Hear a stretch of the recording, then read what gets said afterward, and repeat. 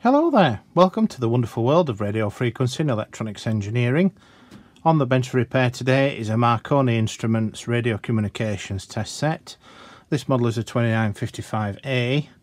There were many models in the range, um, but this radio test set's come to me for repair for a couple of things. Uh, apparently the keys, some of the keys don't work properly when you press them and are intermittent and also it needs an alignment, adjustment, calibration of all the different instruments within it. Uh, now, for those who don't know, the Marconi 2955 radio communications test set was first manufactured in the mid 1970s and continued production well into the mid 2000s. Indeed, it had several uh, variants of it, being the 2955, the 2955A, which is this model, the 2955R with a sensitive receiver option, where this blanked off key here had the option for the sensitive receiver added. And then became the more modern variant of this which was a white coloured front test set with rubber keys instead of plastic and uh, a more appealing modern looking radio test set uh, in the sort of mid 1990s which was a 2955B model um, and although the innards were mainly the same throughout the entire range, there were some enhancements along the way but basically the functionality remained the same. The software improved and the firmware in order to uh, run the test set better and sort out little bugs and issues. But right from the start, these radio test sets have been basically trouble free. Uh, they're the workhorse of many radio workshops throughout the world, and indeed they were sold at many multinational markets across the world for all kinds of different sectors, from manufacturing, defence sector, um, everything across the board really to do with RF design, engineering, maintenance, all that kind of thing was all thought about with these radio test sets. Indeed, they have a capability not only to work from mains electricity, but they also can work from DC batteries, which can connect in the rear, so they can be taken anywhere. Uh, hilltop radio sites, on the workshop bench, on an oil rig, in a ship, anywhere, and I've seen them used all over the world. And indeed, they made a rack mount version of it as well, where the handle was removed and it was placed in a big 19 inch rack um, sort of shell and then rack mounted for doing things like ATE, automatic um, test equipment, measurements, and things like that in a production environment. But these radio test sets have been the mainstay of many radio workshops for so many decades, and they're so well known as well throughout the world in radio comms communications. And they're still as relevant today, even in the digital world, that they were back in the old analog days. Now, the radio communication test set uh, offers multi instruments within it, such as transmit power meter, TX modulation, frequency error, frequency counter, receive signal generator, variable attenuator, mod gens as well for receiver. We also have a duplex test facility as well where we can test a base station that can uh, as a repeater so it can transmit and receive at the same time and we have single port as well as split port duplex capability. Then we have the tone systems as well where the test set can emulate various tones signaling standards from DTMF, selcall signaling, different types of CTCSS and digital coded squelch DCS, POCSAG paging as well for testing paging transmitters and receivers. And then, of course, we've got the same old um, type of instrument that we've always become accustomed to on electronic benches, such as the oscilloscope.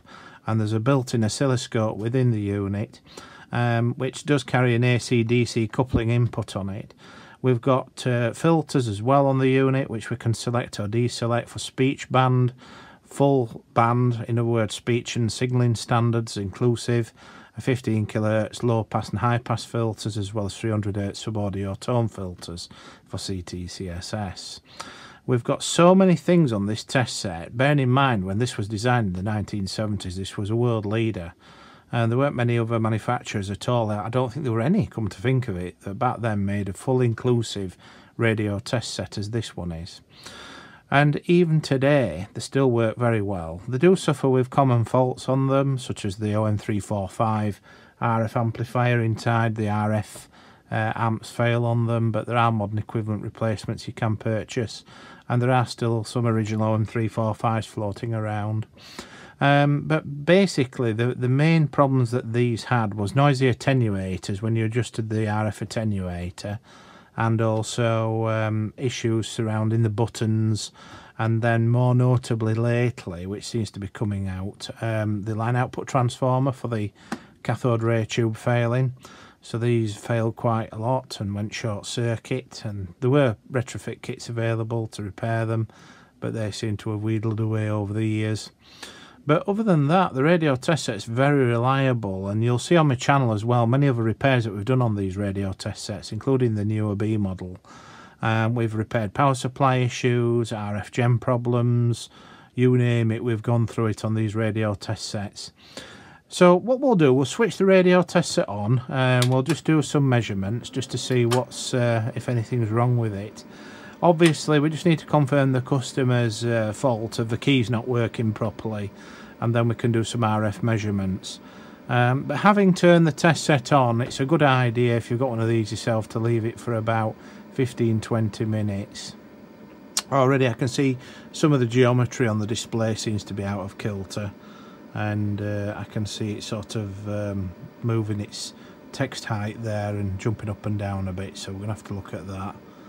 Um, but straight away, if we just go to the help and then select the self-test menu, and then let's see whether it passes all its self-tests.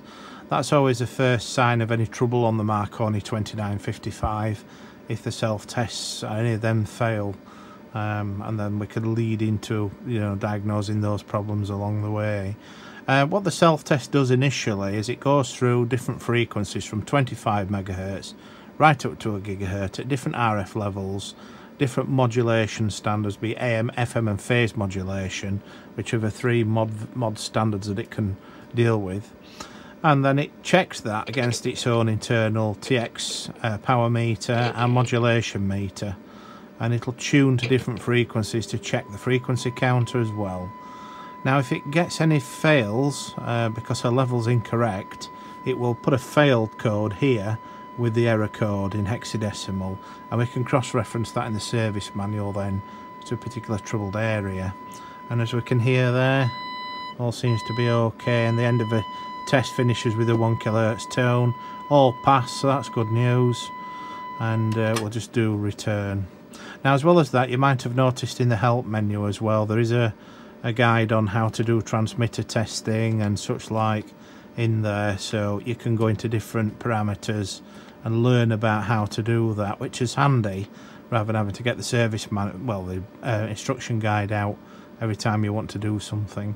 There's also a config menu you can go into, which is change parameters with two pages to it, where you can select different units of measure and set up your frequency standard, your, your filters, your default things, GPIB modes, and then obviously you can store that and, and then go back. So it's very user friendly, very flexible, very uh, ease of use radio test set. Um, and you know, if you've not had the opportunity to own one of these, um, then if you can pick one up, then do so because they're a very worthy asset in any radio or electronics workshop. Now, as well as the oscilloscope, general um, oscilloscope, which we get under the RX test and TX test, which we can select between scope and bar chart, um, we've also got the inputs and outputs on the front of the instrument as well for AF input. So we can couple audio signals in. We can generate a signal coming out of here for testing audio amplifiers or uh, radio transceivers as well. So there's so many uses other than radio that this particular test set can be used with particularly with audio type equipment. And then we've got an external mod input for if we want different modulation standards where we could feed that in there to modulate the receive signal generator. We've got an accessories connector here uh, which we can connect off to uh, Marconi accessories, one of which is an external RF power meter which measures VSWR of antennas plus as well things like psophometrically weight and filters they can all connect in there and then ultimately we've got the N-type male connector here uh, female rather which then allows connection of the RF power um, from a radio under test. 75 watts maximum but you'll notice in the manual it does say up to 150 watts peak.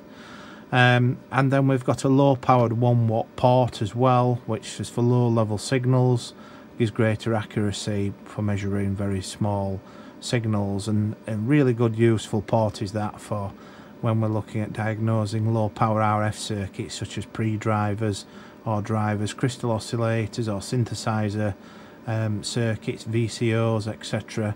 You know, this, this is very good at picking those low level signals up as well. And indeed, uh, when that port's selected, you can have a, an antenna on the front of the test set. And then just by transmitting from a handheld radio in the workshop, the test set will pick up that signal and display it on the, the analysis on the screen. Um, so we've got the scope position controls and we've also got the intensity for the display, uh, volume control for when we're doing transmit measurements we can hear the speech that the um, radio test set picks up. Um, so that's about it really. That's sort of like a little overview of the uh, of the test instrument and its capabilities. Obviously we've got a separate transmit, uh, receive, duplex as well where we can have single port or dual port duplex. We have transmit on one and receive on the other. Uh, then also we've got tone standards so we can generate different modulation standards and we can see the screens dithering about there. Um, but the sequential tones as well and different tone standards there uh, which was used mainly on many analog systems over the years and uh, then we've got DTMF as well where we can select DTMF tones and uh, and on top of that as well we've also got uh, um, in the tones. We've got POCSAG as well but that's only available under the RX test not the TX test. If you go to TX and then go tones the POCSAG disappears. Uh, so it's only under RX is that and then tones and then you can go into POCSAG and generate a paging signal obviously to address a pager so, uh, other than that, I mean, at this stage, I'm using the um, radio test set. The, the, most commonly pressed buttons are obviously TXRX duplex, and then obviously uh, RF gen frequency, and then I can I can type in. And they all seem to be working at the moment, so yeah, that's all working. The zero key's working. So they all seem to be working, but we'll do some proper comprehensive tests. Obviously the uh, the tube's geometry is going up and down, it's wobbling a bit. So could be some issue there. And then we'll do some RF testing as well, where we'll connect to the uh, well we've got a choice of instruments here to check it we've got the Marconi microwave radio test set with the scalar uh, probes which are highly accurate and the RF power sensors that we can connect here to check the RF level output uh, for its correct dB attenuation. We've got the spectrum analyzer as well that we can connect here. Uh, we've got a transmit source as well for calibrating the TX power um, and obviously we can make frequency accuracy measurements and uh, audio deviation for both transmit receive measurements as well to make sure that they're all working and feed levels in and out of here as well with a, a calibrated instrument that I have here to check the instrument against that. But uh, I think first things first uh, we'll have a look at um, the basics first and then we'll get more involved. Yeah just another little thing. I was just looking at the keyboard at the back here just to see what we were like with the solder joints and things on there but uh, just noticed something which may uh, answer the question as to why the keyboard might be erratic. Um, it's quite common on these test sets with the pressing of the um, the keyboard on the front that these screws that are up here, there's three of them, um, actually end up becoming uh, loose over many, many decades of use. And uh, if I just point to something in particular, we'll just zoom in as well so we can see it a bit better. But this is quite a common occurrence on these. Um, see if I can get this lighting a bit better. But you can see there this uh, this thing. It's uh, and now it's it's definitely touching those um, those contacts on that uh, switch so as you can see there it's definitely going to be touching those shorting them out and that's that's the when you press that button in that's the TX button there in the top corner as I'm pressing it in that's the RX below it. So th this is the TX um, switch and that's the RX below it.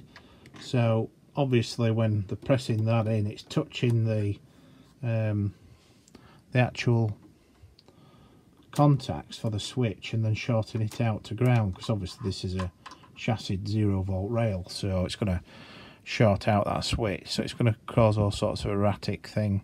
Normally on the 2955 the uh, the keys as and when they are on the way out uh, when you press them in uh, you normally have to put a lot more force on them so if you're just tapping away just lightly um, that force isn't enough on all keys to make the um, the the number appear whereas sometimes you have to sort of you know press it again or multiple times harder in order to get that um, particular digit to register and that's a sign of the tactile switch or the switch membrane itself uh, being dirty and crudded up. You can unsolder them and clean them with switch cleaner and then put them all back, but obviously there's a lot of labour involved in doing that, stripping it down and getting the keyboard out in order to just do that. Um, I have noticed as well on this particular radio test set the um, the TX RX, uh, well actually the RX print there has just come off altogether. It's um, been totally eradicated as that, so we might be able to do something about that as well. Uh, but that's certainly not going to help the situation with the uh, the little link down there, that uh, little ground connection that's meant to flip up and touch this uh, chassis area here.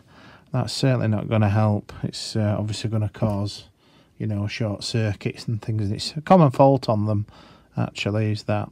So we'll sort that out anyway. But uh, admittedly, the, the keypad did appear to work quite fine for me earlier, but it all depends you know if you've got the the test set on a bench where it's laid flat uh, without this this leg here where that's upwards um, and obviously it's like that test set there on a on a level then obviously the um, the issue is going to be that piece of metal is going to be touching then the the keyboard it's only the fact that we've got it elevated like this um, or when it's moved about you know in transit or that kind of thing that little metal things going to probably rest somewhere where it shouldn't do as well. Yeah, there we go.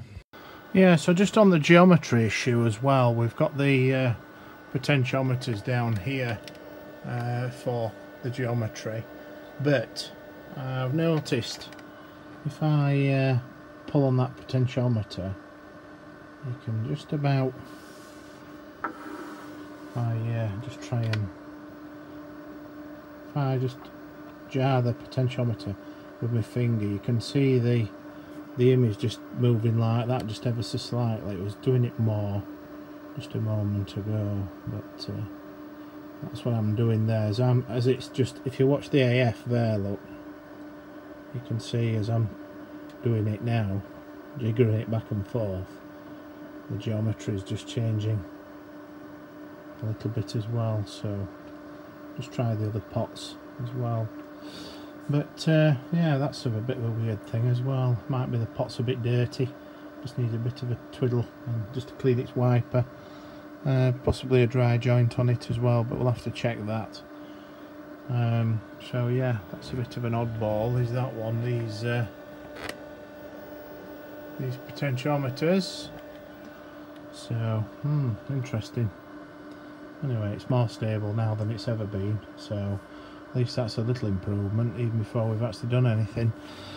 Um, but yeah we'll just have to check the uh, the keys uh, work fine and um, obviously look into it a bit further. Okay uh, looks like the filter down here for the uh, air filters all dropped to bits and coming out.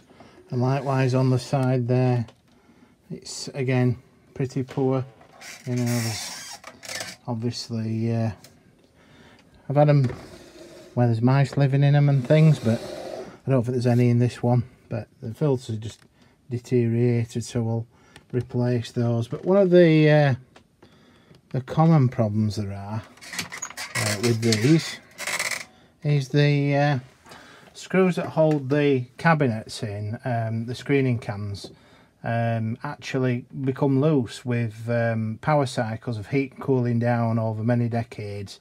It's often found that these screws are loose but uh, on this it seems fairly fairly solid I must admit. But we'll take them out and we'll uh,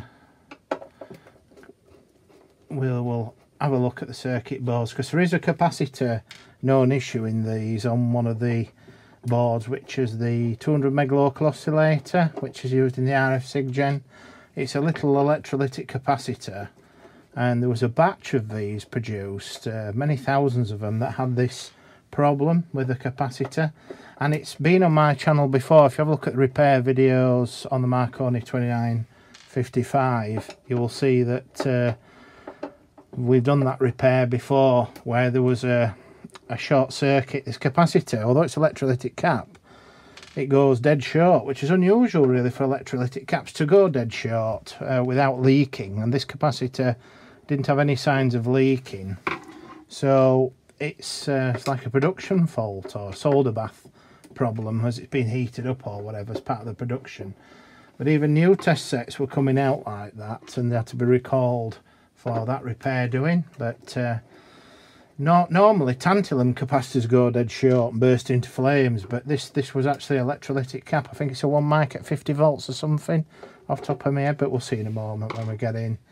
But there's definitely been issues with those on these. Uh, what it does it's in series with a resistor um, about a 10 ohm resistor or something that supplies um, plus 12 volt DC to the uh, oscillator circuit so anything below around about I think it's 80 megahertz um, we'll look at the manual to verify um, gets mixed with a 200 megahertz oscillator to then get frequencies down as low as 455 kilohertz. Uh, and I'll explain the frequency conversion shortly but uh, once we remove these uh, these things but the fault uh, that we used to see on these obviously as well as the OM345s um, if I just find my little magnifier that I use to see things um, there's a 200 megahertz oscillator up here. That's the mixer and then you've got an oscillator here. This uh, BFR 9091 I think it is transistor. That's the amplifier and then you set the frequency of the 200 megahertz oscillator with that trimmer cap up there so let's see if I can get a bit more lighting on there so that trimmer cap sets the 200 megahertz it's a fixed frequency oscillator and your PLL for your 200 megahertz oscillator is formed by these three chips and it mixes with the RF. The RF comes in from the main three oscillators here. It comes in on this track amplified and this bridge, RF bridge track into here before then it gets routed through uh, pin diodes. So if you select an RF gen frequency above, I think it's 80 megahertz, then the RF gets passed straight through and amplified and out and down here is the SIGGEN's output to the step attenuator or alternatively sub 200 megahertz or sub 80 megahertz rather what it does is it routes it via this mixer and then the 200 megahertz oscillator is switched on by one of these transistors down here and uh, it's this capacitor which goes uh, short circuit this one. This is in line with the um, power to the oscillator. And uh, it's well, I think it's this transistor and this this resistor it starts to smoke or it gets very hot. Uh, luckily it never seems to blow the transistor. It doesn't go fizz bang like these normally do. And the resistor never burns out. It just gets quite hot and it doesn't doesn't work and it's this uh, electrolytic cap that's that's common. So we'll probably change both these electrolytic caps now and possibly this one. Because I think I only on some test sets that's a different value to the other two. And it's a small Phillips one. So as the models progressed uh, the capacitor size that they actually fit is something like these here. Uh, in place of that and on other models it's these all three the same value and same size I believe Um, so we'll definitely change that um, because that is definitely a common fault on them. Um, so look out for that. And the other one as well is loose screws actually on the board that hold them in. Uh, these pillars are okay and the screws were quite tight as I were taking them off. Um, same with the, the bolts that hold these on. Sometimes these can be a little bit loose. So tighten them up with a nut spinner and then obviously uh, it'll reduce uh, microphony, you know, microphonic effects and uh, then it'll help with that. Um, there's a ground shield there that looks a bit offline but it's, it's okay. Um, but yeah, I mean, it may not be affected on this production run. There's only a certain batch of them that had it, but I'd had quite a few of them over the years. So yeah, we'll see what uh, what else there could be. Obviously, uh, there's this upper RF can as well, and um, the screws on this are, are, quite tight. So I'm not particularly worried about that situation that uh, we sometimes get on them. I've had them where they've just been finger tight, you know, they've been loose, uh, half backed off. Um, I've certainly had that over the years. But this this test set looks pretty well well put together, to be honest with you. Um, but it's always worth changing that cap anyway down there because if it goes short circuit, it'll stop your 200 megahertz oscillator. Basically, it'll fail tests on everything below 80 megahertz so it's going through the self-test routine and it does a 20 megahertz uh, ranges, etc., which it does as part of a self-test. It'll fail on about half a dozen tests and uh, it won't be able to um, return a pass result and that's because of that so it's always worth checking that and we'll uh, we'll show you that in the diagram in a moment where that is but it took me a while to find it originally because as I say you don't normally get uh, electrolytic capacitors that are actually go short circuit. It's quite rare, is that. I'm not saying it can't happen, because obviously it does, but it's certainly an odd one uh, on me, is that one. So we'll just leave that top uh, screw in there, holding that can on, and I think that one's off already. And we'll just two more, and then following or three, if you count that one at the top. And likewise, when you're putting them back, you don't need to over tighten them, just tighten them up. You know, it's not Arnold Schwarzenegger.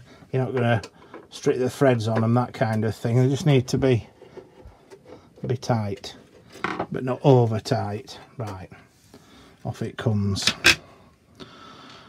So uh, this is a frequency counter board here. Um, so RF coming in from this connector here goes through the pi attenuators but switched in by this Teledyne relay. Uh, we've got the frequency counter IC and the data bus output which goes off to the controller and then RS passed through this chain then this attenuator so if the RF level coming in on the 1 watt port the 20 or the uh, 75 watt port is too high for the measurement to take place this step attenuator clicks in and uh, reduces the RF level uh, then the RS transposed across this contact, interboard contact into here, where it's attenuated again by this pin diode switch before it's passed into the what is the DMOD board. So the DMOD board's job is to demodulate from this signal coming in direct, uh, the RF signal that's presented at the uh, type N on the on the front, or the BNC, um, it demodulates AM, FM, and phase modulation. So you've got separate demodulators on this board.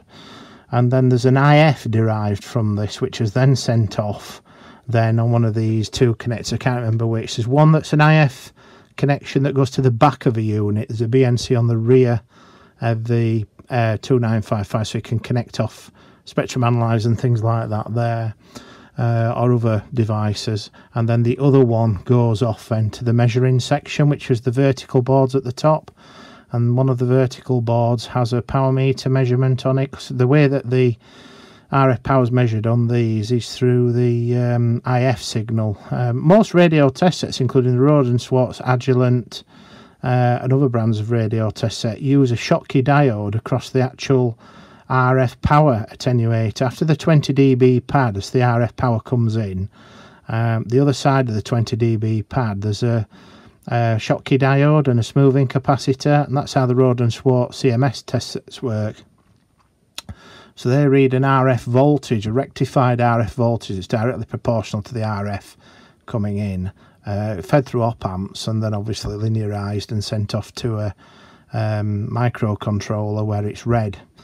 Uh, and displayed on the test set. Whereas Marconi do it differently. They they chose to take the IF signal itself and then use the IF power um, to actually calculate the the RF power. Um, so it's done differently on the Marconis. Um, so yeah, basically that's the frequency counter board. Uh, this is the demodulator board for AM, FM and phase mod. And then this here is the synthesizer board, this one down here with the three um, VCOs on them and the synthesizer PLL circuits. So these will change frequency as we input different frequencies on the front. And then the SIGGEN amplifier board is this. So the output stage of the SIGGEN is all on this section. And the 200 megahertz fixed frequency local oscillator for making frequencies below 80 megahertz.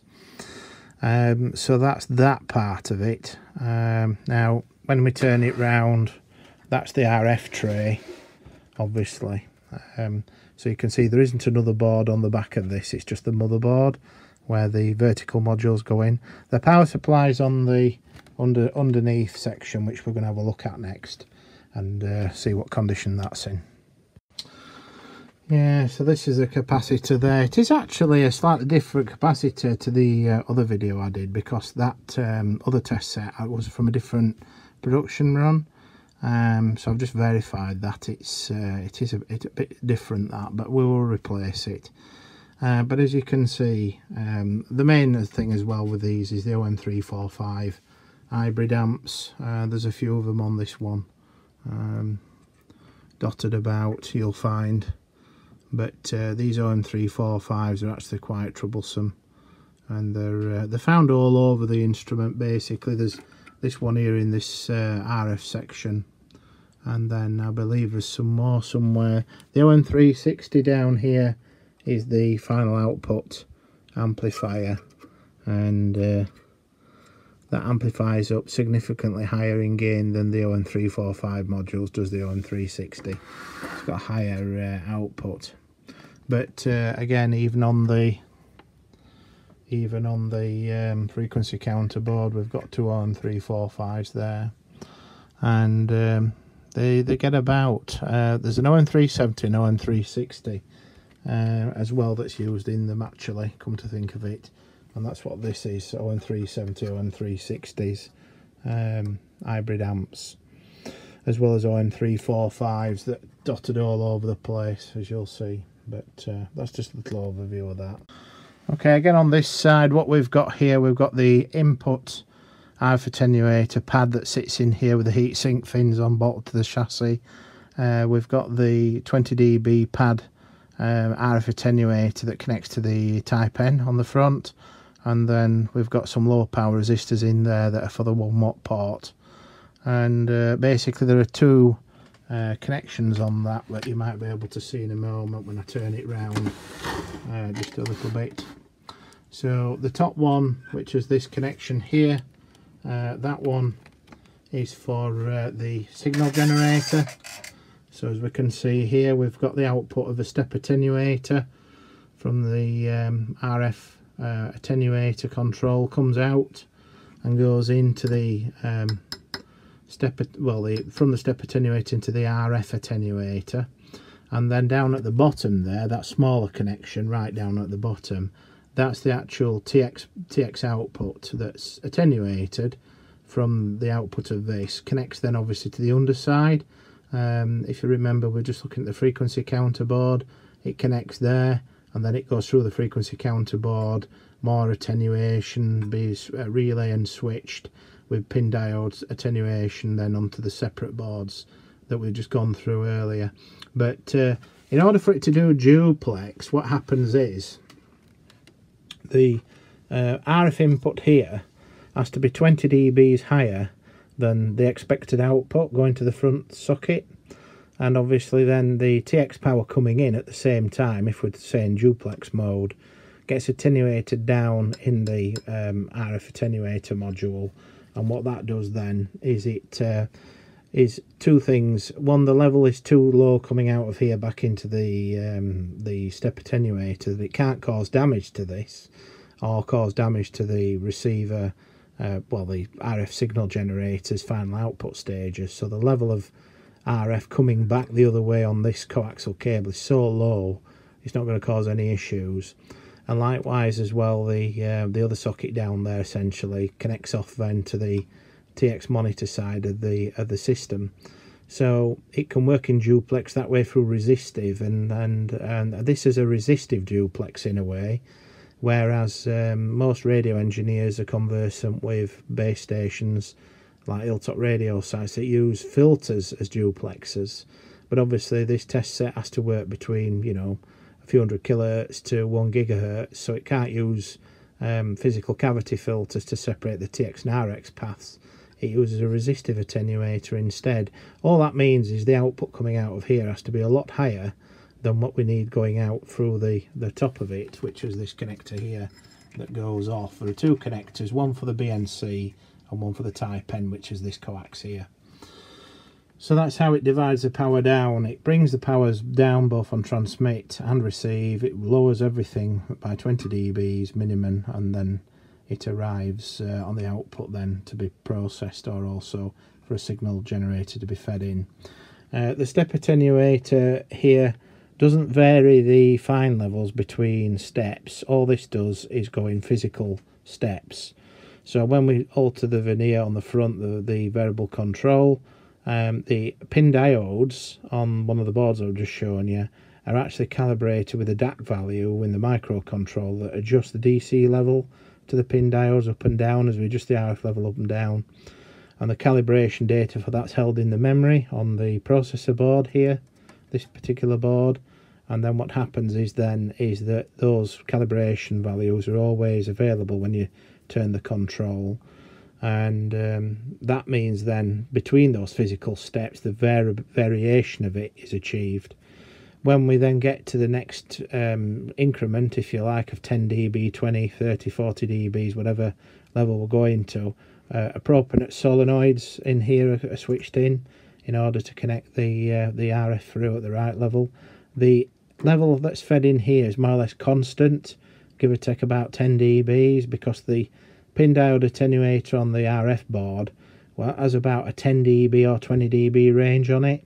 So it can only alter it within that range that limit and then the next thing you know uh, that clicks in another step and then again it can alter it another 10 dBs 20 dBs then it clicks in again uh, and then we keep going down or up in level in steps while this makes up for the little differences in between so this level coming in here is very high. It's um, a very high level indeed. Um, but then we have all these system losses. So we have the step attenuator attenuate it massively.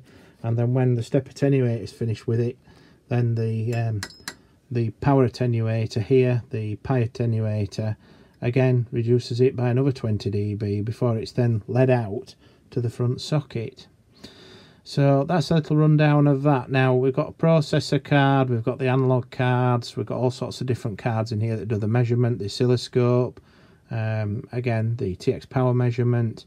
Um, again, it's all calibrated on the memory and the RAM, but also we've got potentiometers as well as per the service manual that we can uh, we can adjust to set levels precisely if we want to.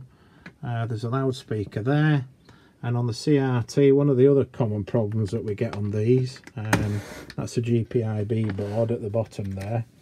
But one of the other problems that we get on these is the uh, line output transformer that just sits here and unfortunately they go short circuit on the um, on on the primary coil and the switching transistor that you can just see there mounted on the board that uh, TO220 package device effectively goes fizz bang um, because the primary coil's dead short uh, there were retrofit kits for these and I think they're still available to some degree but uh, very hard to get hold of now are the line output transformers for these and there were two variants of them made um, so you had to have like an adapter board and all that faffing about when you when you replace them.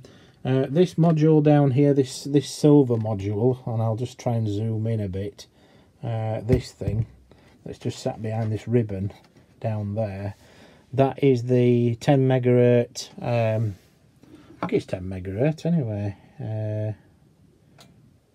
yes, it's 10 megahertz, and that that is the the time base. Is that for the unit? So that's where the actual time base comes from uh, for the test set. So if you're using the internal reference, then that's what is adjusted by this potentiometer just there, this blue potentiometer. And so that basically can set the time base, frequency accuracy of the test instrument. So that's part of the calibration routine. Uh, these potentiometers at the top here set the horizontal and vertical spread, if you like, on the CRT. And then the um, horizontal positioning is the, the other pot. Um, so they can be hypersensitive. I've adjusted those already off camera because you've only to breathe on them and the, the picture was going a bit erratic. And if you touch the potentiometers like pressing on them with your finger, it also um, started to do strange things. So it was down to the uh, wipers in the potentiometers um, having crud on them. So I've just given them a, a bit of a spray and a twiddle and they're uh, they're okay. And there's no further adjustment needed with the CRT tube uh, as well which is there. Now there is um, underneath this uh, can there the anode cap that goes onto the uh, CRT tube as well uh, which you can't see. And then obviously there's the um, end here for the guns uh, for the CRT there as well on that board uh, the heaters on these are 12 volt heaters and they run directly from the 12 volt supply to the um, to the um, line output transformer board. So there's that. There is um, quite a large electrolytic capacitor down there as well which has never ever gone wrong as far as I'm aware on any of these uh, these test instruments. Um, now right down here at the back, just behind this GPIB board, you might just be able to see what looks to be like a donut shaped device down there. That's the toroidal transformer and with it, uh, next to it, which is quite hard to see, you can probably see more of the toroidal transformer there, look. So that's the toroidal transformer. Next to it, um, you might just be able to get a little bit of blue that's just next to it down there where my finger is, that's the electrolytic smoothing capacitor that's laid horizontally on the back and bracketed in. And just beneath that, which you'd have to sadly remove the back of a test set in order to see it, uh, is a bridge rectifier that's bolted to the chassis, uh, the rear panel. So then the uh, rectified DC voltage, which is a low voltage, I think it's about 30 volts, something like that. That then goes off to the power supply module, which lives in the in the bottom here in this can which we're going to remove next and have a look in there. Yeah so we've got the back off now and as you can see it's pretty man manky. We're gonna have to uh, we'll take this off shortly and have a look but you've got the pl plenty of blackness on there and dust and and soot so we're gonna have to vacuum it I think. So we've got our dusty Dyson and give it a vac. It certainly needs it. Could do with a bit of a clean. It's probably not been cleaned as a 40 years. So give it a bit of a brush. Right. Okay here we go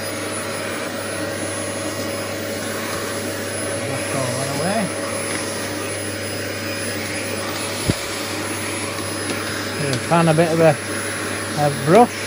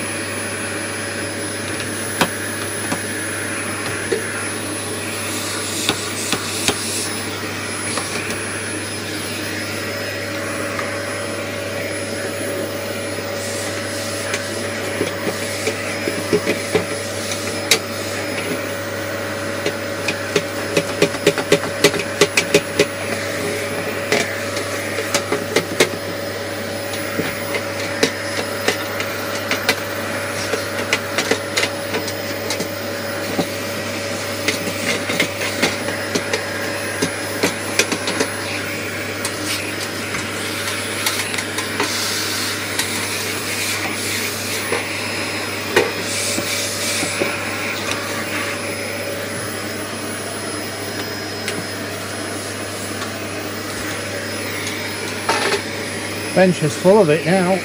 Old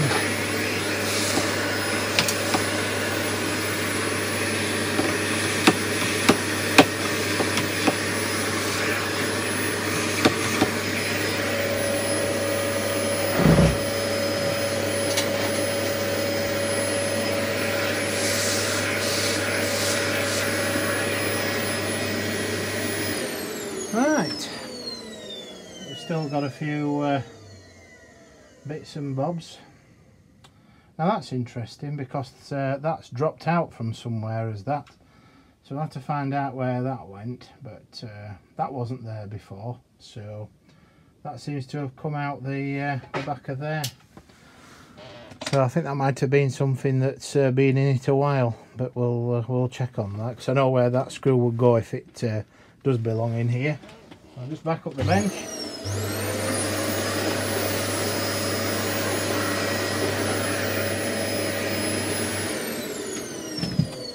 Right, so now we can gently put that down again and then remove the screws for this. And uh, so when you get the right screwdriver they're nice and tight, not bad. We've got some new filters here that we'll be able to fit as well onto the uh, onto the unit. And uh, I should sort it out. We'll just check the power supply because the way this this particular unit works is that it has a, a little switch mode power supply that runs off a low voltage and it's so that you can connect a, a battery to that connector there uh, basically as it says uh, quite a low voltage up to about 30 odd volts input so you can run it from a vehicle battery you see and they did an option on this which will be on my YouTube channel which is a, a battery pack uh, that piggybacked onto them. And it can charge through this connector as well can the NiCad battery pack as well as being able to be powered externally from an external DC power supply. Um, so yeah pretty good. So that gets fed into what's an inverter in here. Uh, and as I said earlier the uh, the mains power supply is on the other side of the toroidal transformer you see that's that's pretty dirty. I'm gonna have to vac that out.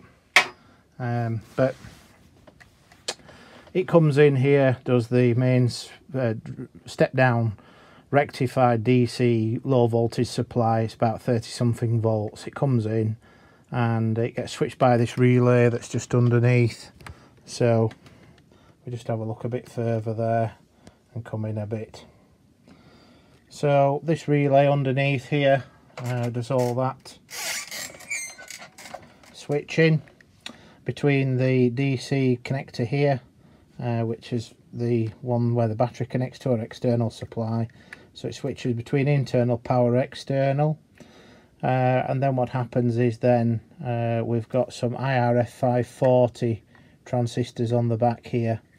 Um, one of them is a rectifier diode and the other two are IRF 540 FETs that switch uh, that are pulse width modulated as you would have in a switch mode power supply and that's the time base IC there. And then the actual main transformer for running the entire unit and all its power supplies is actually this. Uh, this is the main transformer here and that then feeds all these rectifiers that are underneath and these wires here are your plus 5 volt 12 volt minus 15 so on and so forth voltage that go off to run the actual unit potentiometers set the um, limits as well uh, down here the voltages and there's a couple of faults with these power supplies that we've detailed on the on the channel um, you do get problems with the IRF 540s. Uh, the um, insulating washers they get very hot, and uh, these have got the silicon rubber mats on them. But sometimes the um, bolts that hold them in for some reason have been loose or whatever, and the the transistor starts to get super hot, and the plastic washer that insulates the nuts melts, and so. Uh, when they melt uh, then they short out because obviously they're meant to be insulated uh, that's the current transformer that measures the current consumption of the uh, supply So if it goes over a certain current, that then it triggers the power supply to shut down. And uh, these inductors here, this inductor and that inductor actually smoothing inductors along with this. So L1, L2 and whatever L number that is. And these diodes here are the rectifier diodes along with these here, these two. Um, but more the, the main faults you get with these are these IRF 540s packing. Uh, I can't say I've had any transformer failures, but I've certainly had the diodes fail, and the uh, the IRF 540s tend to be the main common thing. I've never had a toroidal transformer fail, and I've never had a smoothing capacitor bridge rectifier fail on them yet. And they are genuinely quite reliable, providing, of course, they're dusted out and uh, and kept nice and clean. And then uh, Zener diodes, I've had a couple of Zener diodes blown these. But uh, quite easy to repair really, not bad at all. Little power supply and uh, just needs a vac. Uh, another vacuum I think. So we'll do that now.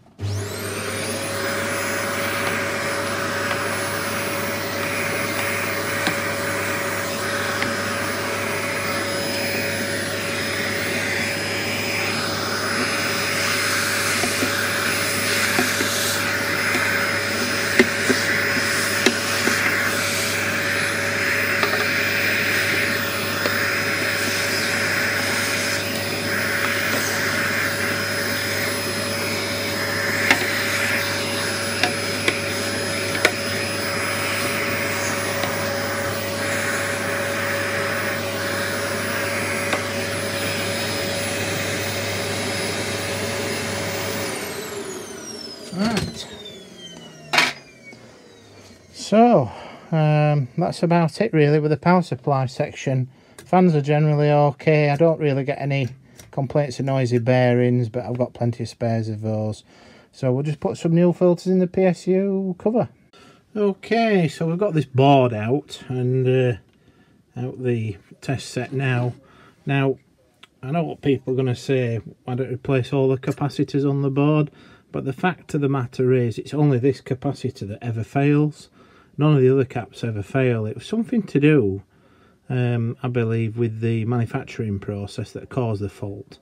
Um, but I could be wrong. But I know that every other Marconi I've ever repaired, uh, the other caps have been fine on this board. It's just this one that fails. Now, there's a transistor just there which output is fed via that resistor and then to this capacitor and then on to the oscillator. It's a minus voltage uh, that it, it conducts because the minus side of the capacitor goes down to the printed foil side for the ground path. So that resistor there um, starts getting hot um, and obviously it can't supply the, the power then to the um, 200 megahertz oscillator. So we're going to remove that. I've got another capacitor that's almost identical to it, different manufacturer, same value and voltage. So we're going to fit that in there and then um, Bob's your uncle. But uh, yeah, back soon. Okay, so we've uh, changed that now. Just trim these wires off and uh, make it a nice tidy job. So just go to here.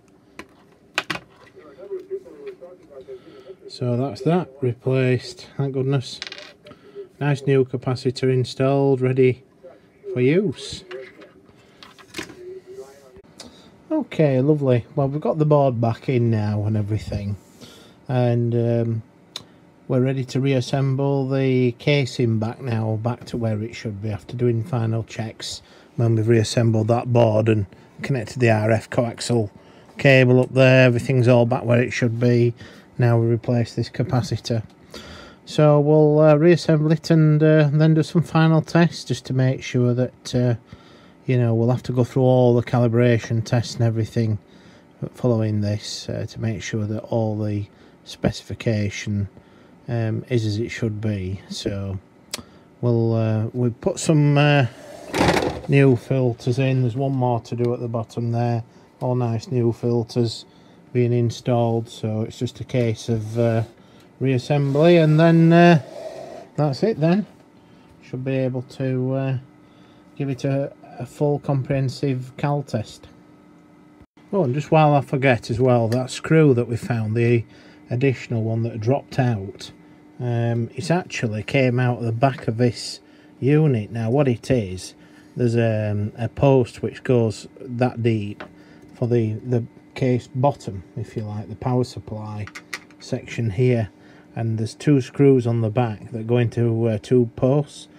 Well, the other end of the post to the chassis is held on with a little screw just down here and then another screw on that side uh, that fastens the post to the rear casing. And what had happened is when we were unscrewing the the post uh, the screw at the back of this panel for releasing this panel from these two posts that hold it the post itself has started turning round and unscrewed itself from the fastener in here so that's the screw that dropped out so I put the screw back in fastened the post and tightened it up so when we put this bottom panel on, uh, the two screws that go through um, into the post then won't turn the the physical post around, which it was doing before it was quite loose. So that explains where that screw came from. Okay, we'll just have a look at this circuit diagram then to describe this oscillator where we've made the capacitor change. So here we've got a DC switch and when we select a frequency range between uh, 400 kilohertz to 88 megahertz then basically this signal gets fed in here to bias this transistor on. So we have a minus 12 volt supply coming in through this PNP transistor and it's outputted through this uh, 22 ohm resistor. Uh, that then in turn comes along this line and hits this 1 nanofarad capacitor uh, but just off the screen uh, almost uh, when we take a look just off the screen is this capacitor here. Ignore this this is nothing to do with it. This is just a line that crosses over for something else. So it's this one nanofarad and then this capacitor we've just replaced here uh, which is there. Now that feeds uh, this oscillator this line. It feeds this oscillator here which is a 200 megahertz fixed frequency oscillator it's basically a free running oscillator it's like a Colpitts oscillator it's just running free and then it's netted, it's controlled by a varactor diode, which is a DC control voltage fed to it from a, uh, a loop filter, and then before that a phase lock loop, a divider, phase comparator. So I'll explain that now, how that runs. But basically, top bottom of it is, um, this 200 megahertz oscillator is powered by that circuit. So if this capacitor goes short circuit, this uh, 220 mic that's down here um, then on near short circuit it, it flattens this supply rail on there causes this resistor to heat up or burn and this transistor to go fizz bang um, but what happens is is that the output of a 200 megahertz oscillator free running oscillator um, its output RF output is sampled it's fed out on the collector and it comes back along and it goes into what is this divider divide by uh, I think it's 20 so this divides the frequency down and then it gets buffered and fed into another divider um, which which then provides if you like a 5 megahertz or approximate 5 megahertz signal depending on what this oscillator is doing frequency wise but it's gone high maybe 210 220 megahertz maybe 250 megs whatever because of a fault condition or temperature changes. Um, obviously, as you know, oscillators will change frequency when the temperature alters because the physical characteristics of the components change and thus the frequency drifts with temperature. So as that frequency drifts that's coming in, that 200 meg, and it gets divided down, right down to 5 megahertz, that 5 megahertz might not be 5 megahertz, it might be 6, 7 megahertz, it might be 5.5 megahertz, it might be 5.1 megahertz, whatever that whatever frequency it is comes in here on the bottom of this into this phase comparator. However if we look here we've got a time base from here uh, which comes in which is a 10 megahertz stable time base from the reference oscillator in the instrument that's the calibrated frequency standard that comes in again it gets divided down to 5 megahertz so we've divided the 10 megs to 5 and we've divided the 200 megahertz to nearly 5 megahertz. Now, if the oscillator here is running bang on 200 megahertz, this phase comparator doesn't need to make any adjustments. However, if the oscillator here starts to drift off frequency due to temperature characteristics, changes in temperature, etc., then the output frequency starts to move one way or the other. It could go higher, it could go lower, depending on temperatures. So ultimately, the frequency that arrives here for comparison with the reference, the stable temperature controlled reference oscillator input, that in itself is a, is a very rock solid signal. So it will compare the two together. So any difference here in frequency, because ultimately this oscillator is drifting away, um, it will then compare the two. And what it will do at that point, it'll make a decision. It'll say, right, one of the inputs, uh, non-inverting versus the inverting input, is changing its state, its frequency, uh, from the other. So therefore, I will then produce an output voltage. So there's a pull-up resistor here to uh, plus 5 volts or whatever. Uh, and this voltage then is dampened by this RC network and the voltage will either rise or fall in synergy with the differences across these inverting and non-inverting inputs. That in turn, the DC control voltage will be fed to this part of the circuit where there's a varactor diode, a variable capacitance diode, and so by changing the DC conditions to this diode will change its capacitance in the circuit and thus the oscillator will start to change its frequency and ultimately it will start to go to 200 megahertz. The closer it gets to 200 megahertz coming back and divided down to 5 megahertz, as the frequency gets closer to 5 megahertz, the control voltage begins to stabilize, its rate of change declines. However, if the oscillator starts to wildly go off frequency because you bring your, your hand close to the circuit, or it suddenly gets quite warm, or it changes its characteristics again, and it starts to wander off frequency, either higher or lower, the rate of change here changes markedly quick and thus the output of this changes markedly quick and the voltage control to this varactor diode changes again quite quickly to try and pull this in. Now there comes a point um, when this oscillator might go too far off frequency no matter what voltage between 0 to 5 volts is applied here, it might not be able to bring the oscillator back onto frequency or near enough for this to be able to control it. So how it's achieved in that in that case is that part of the alignment procedure, you get the oscillator to free run without the PLL. So in other words, you essentially um, lift this capacitor out of circuit you then adjust, put a frequency in below 88 megahertz, so it switches on this oscillator for a start off. And then what you do then is you adjust this trimmer capacitor, which I pointed out on the circuit board earlier, and you use a spectrum analyzer frequency count on the output of this oscillator to pull in the oscillator as close as you can to 200 megahertz. Now it'll be very sensitive with this capacitor, but that's basically what you do. You try and get tune, as it's highlighted there, tune you tune the oscillator uh, to as near as damn it 200 megahertz and then you reinstate this capacitance and then basically the signal then that's coming back is nearly 200 megahertz. So it's within the capture range of this uh, divider and phase comparator. Thus if the two signals are near in phase in, or in other words near in similar frequencies then the output will be controllable um, so you're bringing it the oscillator within the capture range of the phase lock loop, if you like. Now, most radio equipment, PLLs and synthesizers are totally different. Uh, they, they have what's called a loop filter on the output, the phase comparator, and it has pulse width modulation pulses. So depending whether the VCO is going high or low in frequency, um, the PWM, the pulse width modulation, will change mark space ratio and the loop filter, the RC network, will convert the signal from square waves of differing mark space ratio to um, a steady DC voltage. And that voltage can go minus voltage as well as to zero and then to plus territory and then back again.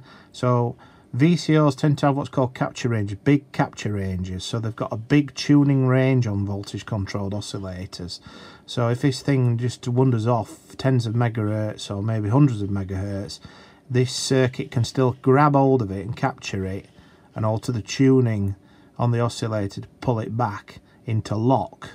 Now when the both signals are, are, are in lock, in other words when the output's 200 megahertz and it's compared here and the both signals on this comparator 5 megahertz each, then that's what's called a state of lock. A state of unlock occurs when the oscillator wanders off frequency too far for this to be able to grab hold of it and thus there'll be a, an out of lock state. And in most synthesizers and VCOs they'll have a lock detect and out of lock line that goes off to a microcomputer. Um, so on like PMR radios, amateur radio transceivers, things like that, it'll say synthesizer out of lock on the display or it'll give a, a, mating call like a beep beep beep or some warning indicator to let you know that the PLL's out of lock. Or there'll be an LED on the board that'll glow red when it's in lock and not glow at all when it's out of lock. And that that's the sign for the engineer to tune it. So um, there's all sorts of weird things. Obviously radios that are programmable dividers pre-scalers and synthesizers are where you can change the frequency of the oscillator because you could have a radio that's frequency controlled like a VFO or it's channelized.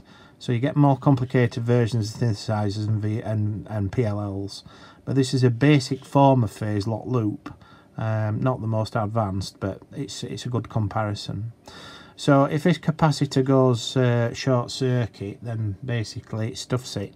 Now beyond this um, oscillator there's a buffer amp and we can look at that on the next diagram uh, to explain how that works. But basically the buffer amp itself uh, is here. So that 200 megahertz signal makes its way to the base of this NPN transistor which is a, a BFR90 low noise uh, UHF transistor. That supply rail is there going in. That's that capacitor we replaced which is on that other diagram just on the edge. So it supplies power to this device. Uh, we've got a plus voltage of plus 12 volts there and then obviously feeding a, a minus 12 volt signal in here on the emitter. This then buffers the output level, RF level, to increase its level and it's fed then this 200 megahertz fixed frequency to the double balance mixer, this DBM. This is the silver can on the circuit board. Now, when we enter a frequency in of uh, 400 kilohertz to 88 megahertz on the front of the test set, what it does, because it doesn't have an oscillator within it that generates a frequency in that range, it uses a mixing process here.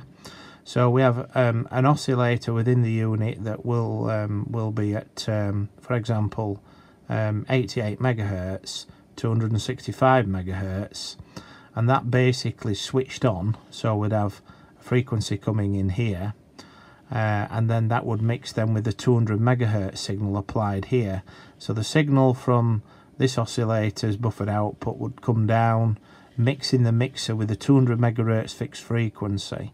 So this is like a VFO this frequency can change higher or lower go anywhere from um, 88 megahertz or whatever up to 165 megahertz. And this is a fixed frequency here.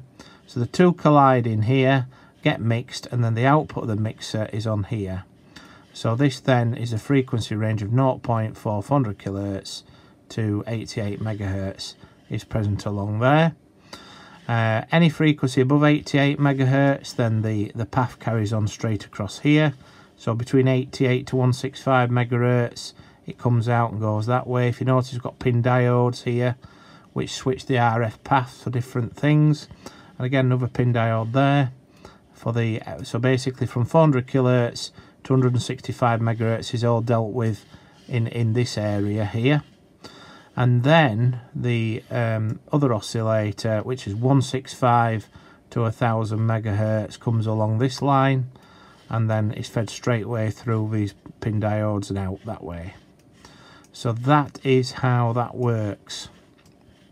It's done through a, a state of mixing um, and that's how it how it works so it mixes with a 200 megahertz signal um, to then produce a difference which ultimately ends up either in 400 kilohertz to 88 megahertz. So that's how it works. Interesting. Anyway, so far as the keypad fault's concerned with the uh, metal bracket that uh, is for the fascia plate on the radio test set, um, the screw becoming loose, which is quite a common fault on these test sets actually. I've found over the years the screws that hold the keypad board in um, become loose and it's obviously many decades of the heat, heating up and cooling down cycles and then combined with physical stress exerted on the board by the uh, pressing of the keys. And it causes the screws to become loose and ultimately they can drop off. And I've found that with some uh, test equipment I've had for repair in the past it doesn't happen a lot but um, the screws certainly become loose and the board then uh, indents uh, to places where it shouldn't do. Um, so if we look at the um, the keyboard in more detail uh, with the keys as we see them set out there um, you may have noticed at the start of the video we had the LEDs which signify AM and FM illuminated at the same time which I, I straight away could tell there was something not right there. Um, when you see the AM and FM lights illuminated simultaneously that's a good indication that there's something electronically wrong. So that was something that I, I sort of um, subconsciously saw.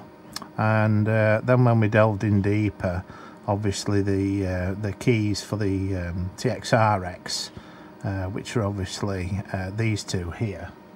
Um, the bracket is just above and it had swung down and was touching the contacts at the back of the uh, TX button.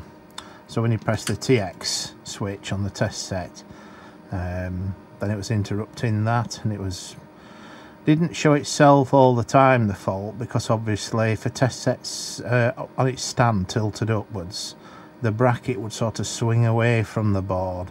But if a test set was uh, moved about or if it was disturbed or perhaps it was level on a bench because the handle was put over the top of the test set then that uh, bracket could quite easily swing down and touch these electrical connections on the back and ultimately would link one of the rows and one column together. Um, and uh, so obviously all these keys would become inoperable. Um, so that that was that really and uh, causing all kinds of, uh, of issues with the multiplex of a keypad and not being able to uh, to work and that was one of the complaints that uh, um, the owner said that there was with the test set so that's a little insight into that. Okay, so now we're ready to do some signal generator checks. Um, so what we're going to do is we're going to use the microwave radio test set, uh, which is over here, which goes up to 46 gigahertz. The reason why I'm using this instrument is because it's highly accurate. This particular instrument has a frequency range of 10 megahertz to 46 gigahertz. It's a vector network analyzer and it's also um, connected to an atomic frequency standard and a GPS reference as well. So they're both synchronized into that unit. So therefore that is as accurate as you can get regards to frequency accuracy um, so two things we're going to measure on this instrument. We're going to measure um, the into the frequency count on the silver cable here um, the frequency accuracy of the instrument which we're currently looking at now and then this other connector which is on this side is a power sensor uh, which is this which we've just been through the calibration procedure on this uh, with the instrument for its own internal calibration mechanism and we've inputted the data on this uh, table with the cal factor and linearity data so that we know that this sensor is going to be working correctly and measuring properly uh, and calibrated to 0 dBm on the cal feature on the Marconi. So we're currently connected into the RF output of the uh, Marconi 2955. We're connecting the RF output up to the on this cable to the counter input. We select a frequency count at 1 hertz resolution and we're breaking that screen out now onto uh, this screen here. And as we can see there we're getting at 1 hertz resolution. Uh, we're actually getting quite good frequency accuracy there. And uh, there's no need for any adjustments with that. It's spot on. There's nothing wrong with that uh, tester set. Now if I change the frequency to 300 megahertz for example. Uh, we're just going to move that now 300 megahertz. And then I'll do 600 megahertz. So as you can see um, very accurate indeed. 600 megahertz. We've got 600 megahertz signal there and then a 1 gigahertz signal 1000 megahertz. And then uh, we should be getting that there look so very accurate indeed. There's no point in trying to uh, adjust that because it's so accurate as it is now. It's well within its uh, specification for frequency accuracy. I mean you're not going to be able to get it any finer than that uh, with drift and everything else with temperature. So um, yeah there's nothing wrong with that. So what we'll do now we'll move over to the uh, the scalar uh, function. So I'll just go back here uh, it's over a power meter? And uh, now we're on power meter. So what I can do I can disconnect uh, this coaxial cable. And then we will connect up the power sensor head to the Marconi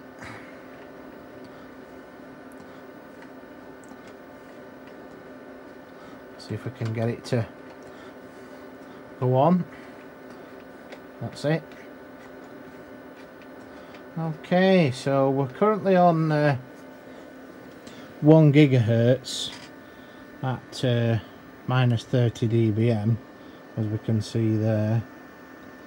1 gigahertz at minus 30 dBm and then if I just show you there look the level.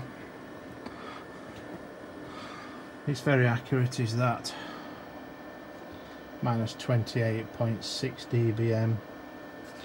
Um, if we do um, frequency 500 megahertz just change it to 500 megahertz now. Well let's keep in the same level. 300 megahertz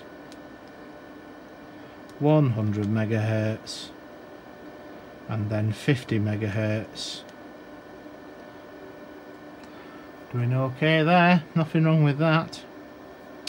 Um, if I just increase the level to minus 20 dBm and now we're uh, just letting the the Marconi settle the measurement so not doing too bad. This particular sensor measures down to about neg 35 dBm. Uh, then I have other sensors that are more sensitive that measure further but um, this is just a, an indication of where we are with the uh, RF level. So we've set the uh, Marconi to uh, minus 20 dBm and uh, we're currently getting a, a nice minus 19.82 so it's literally um, you know 0.2 of a dB off. It's uh, very accurate is that across all the frequency ranges. Um, so yeah. Nothing wrong with that um, at all. There's nothing wrong with that at all. Uh, if I put like minus 25 dBm in uh, it's uh, it's got a good accuracy there we'll also do some tests with the spectrum analyzer as well throughout the switchable ranges in the attenuator because we're quite a high level at the moment so I want to see that um, decrement all the way through its ranges right the way down to you know neg 100 dBm at least uh, just to check its all the relay uh, ranges on the RF variable attenuator work. But uh, there's nothing wrong with that. I mean as you can see there so there's no adjustment required um, in so far as frequency or RF level output is concerned. Nothing at all. Um, so yeah I think uh, you can also change the averaging and uh, input D.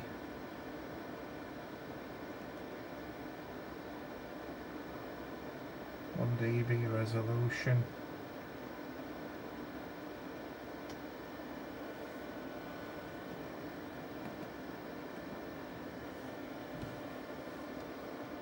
So, yeah, nothing wrong with that.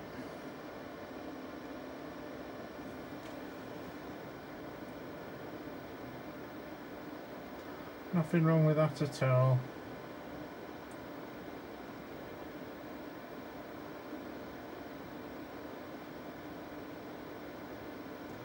Yeah, I'm just looking at some of the uh, the options with it. So again, if we change the, um, the sort of frequency, so if I do RFGen frequency 500 megahertz, and again you can see the the level is only changing marginally. Um, 800 megahertz and 1000 megahertz so there's nothing wrong with that. Yeah. So the next measurements we'll do will be to check the switched attenuator ranges. Uh, then we will check the um, modulation standard as well for AM and FM and phase modulation. We'll look at that and then we'll do some transmit power measurements into the unit to check its um, power measurement capability. And uh, we'll go from there. They're the next ones right well we're now going to do some um, signal generator checks on the 1 watt BNC port both in simplex and duplex to check that because the reason why we do that is because depending whether the test it's in duplex mode or in simplex mode means we get different relay configurations on the uh, RF attenuator section. But we also um, need to check the 1 watt port for damage because we also get uh, chances here that the RF power has been um, exceeded on the 1 watt port. Now to explain the RF attenuator that sits within the unit which we'll go into later uh, module gets the connections from both these sockets. The type N however has got a 30 dB pad uh, in line with it, a substrate resistor which is bolted down to the heatsink and this can take a couple hundred watts peak even though it's rated at 75 watt max you'll see in the manual it's rated 250 watts or thereabouts peak. Um, so it's much harder to damage the type N port than it is to damage the BNC the BNC doesn't have its own um, substrate pi attenuator that's bolted to the heatsink. It's basically made up of um, normal resistors uh, which are um, not bolted to a heatsink and are susceptible then to burning out if you put too much RF in there and quite often um, people connect um, too high a power to this port and burn those resistors now they can burn them a little bit which then means that the pi attenuator because three of them uh, in circuit they can burn where they alter the value and thus the attenuation changes or alternatively could be burned out completely and they'll not work. Um, so what we're going to do is we're going to repeat the test that we did on the N port, but this time on the BNC. But this time we're also going to um, put it into duplex mode as well. So how we do that is we connect our uh, power probe up to the uh, the sensor with the BNC10 adapter. Connect it now onto the BNC and then what we're going to do we're going to uh, we're putting a minus 15 dBm signal in at the moment and as you can see there we're getting uh, neg 15 dBm on the uh, scalar probe. Now if I increase that for this uh, power sensor rather and put it to 0 dBm obviously yeah we're getting very accurate power. Talking only 0.3 of a dB off which is well within specification. And then to plus 5 dBm notice the BNC port has a different output level maximum on it than what the N port um, can provide and that's built into the design of the test set uh, now if I go to duplex so this time what we're going to do is we're going to test the relay configuration since this test set can operate in both single port and dual port duplex um, so if we're in duplex mode, single port, both the transmit and receiver is on the N, N port. However, if we press this button here, then we get the BNC as signified there on the receiver, on the SIGGEN, and the transmitter on the N port. So what we're going to do now, now that we're in, in split port mode or in duplex mode, um, we're then going to increase this signal level back up to above neg 30 dBm so that we're in the dynamic range of the um, sensor and so we're at minus 15.1 dBm and as we can see there reading minus 15.27 so that's where we're at there look. And uh, so hopefully you can see that on the screen. So we've got the level measured there and obviously outputting that. So if we then decrease the level again like we were before to minus 20 dBm. And again check the level on there uh, we're getting minus 20 dBm. And uh, let's just decrease it now to minus 30 dBm. And again we're coming right down to the bottom end of a dynamic range of this particular sensor. And uh, so it should still read. And it takes a little while longer for it to settle because obviously it's a very accurate measurement. So we just need to give it time just to settle down. But uh, again you know we're talking uh, quite an accurate level there you know fractions of a dB off roughly. So I ain't gonna complain about that. We're right at the bottom end of that uh, usable dynamic range now on that sensor. So um, I can't find anything wrong with that. The test frequency that we're using here is 300 megahertz. Um, whereas before it was obviously at 1 gigahertz. We can set the RF frequency to 1000 megahertz still and uh, we're still getting that level accuracy as well at minus 15.52 dBm. Uh, if I set minus 25 dBm again we're getting that minus 25 dB accuracy minus 30 oops minus 30 dBm. And then again it'll read right the way down to about neg 34 neg 35 so this is where we get with these messages coming up because of the fact that the uh, the radio test set is so sensitive and accurate to even with temperature variations that it needs period cal as we go through some of these measurements. Um, but this is obviously to be expected when you're, you're talking at this level of calibration. So Okay, so I'm happy with that. Uh, very happy indeed. Um, I can't see any problems there at all uh, with those ranges. So again, we'll check this on the spectrum analyzer as well um, when we get down to obviously testing that uh, throughout the RF levels over the entire dynamic range of the RF attenuator, the step attenuator. Now if we've got a single port duplex, the transmitter monitor with the RF level mount to maximum should pick itself up and so we should be able to hear the mod as well and we can. So basically to explain uh, the signal generator is outputting the highest level it can on the type N port and the transmitter monitor which is also on the same port is picking itself up. So basically it's testing that the uh, modulation content and everything's there. Um, but we're going to check the mods separately anyway uh, both for AM FM and uh, we'll check that against uh, another test instrument here which has been calibrated.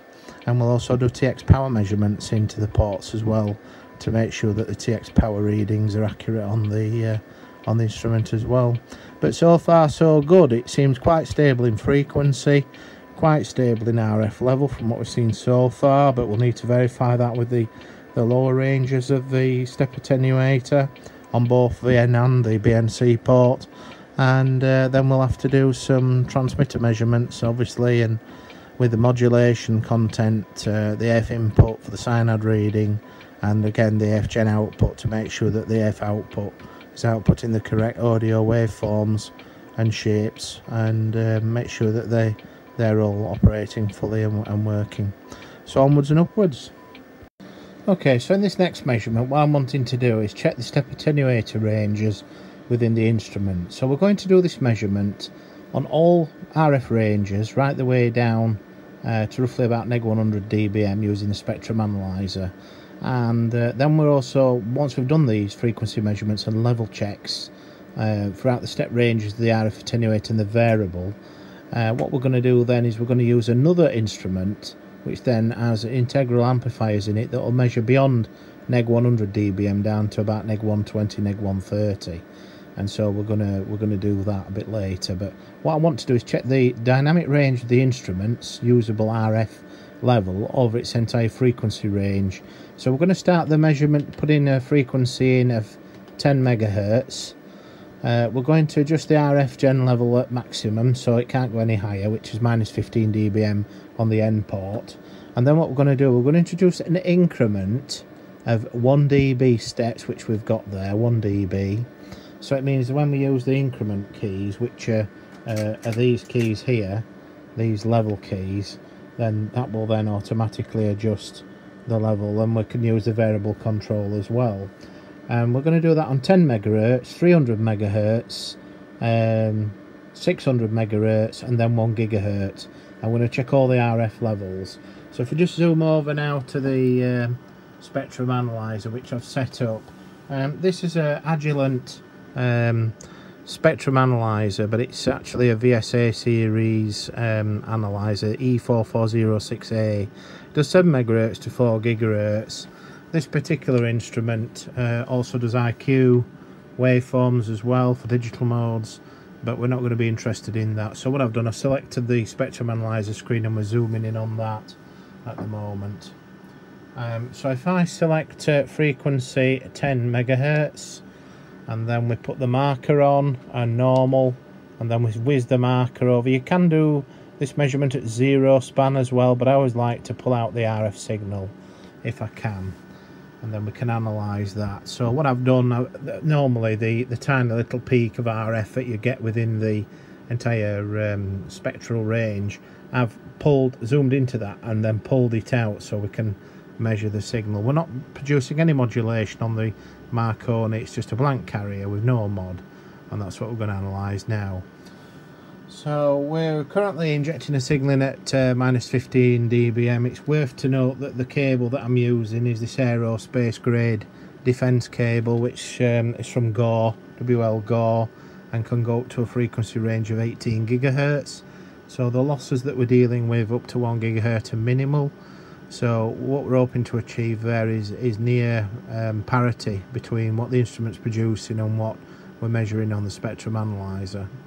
Um, now as you can see there we're measuring uh, minus, uh, 14 point something dBm which is fine with me. That's levels no nothing wrong with that. And uh, then what I'm going to do there I'm going to start to reduce the RF level. Now what we're looking for here you'll also hear the relays in the Marconi test set click uh, there are some shallow sounding clicks but then there's some major clicks you'll hear. And each time you hear those clicks the step attenuator switching in um, physical RF pads, attenuation pads, pi attenuators which then reduce the signal in either 10, 20, 30 dB, 40 dB steps. And um, and then there's some fine adjustments as well which is done by the ALC so when we adjust the variable control in the front of the test set the levels between those physical um, attenuation starts to here with the big clicks. Uh, we need to check that those levels are varying properly as well between the physical switch steps. So that's what we're going to do now. So if I begin to reduce the RF level down to uh, neg 120 dBm so again we're receiving that level here. And as we can see there's I'm reducing the level. It's declining smoothly as it should be. So that's neg 30 dBm now we're approaching. And uh, again we're receiving neg 30 dBm there. Now if I continue to adjust the the level on the front of a test set down to uh, minus 40 dBm. So that's that's a click there. So as I move the RF level up and down to get that relay to switch in what I'm looking for there is whether the RF signal vanishes altogether and then either doesn't come back or it it comes back within a few seconds because often that's a sign of dirty contacts on the um, step attenuators solenoids that actuate the uh, the pi attenuators. So we're getting down to minus 40 dBm now.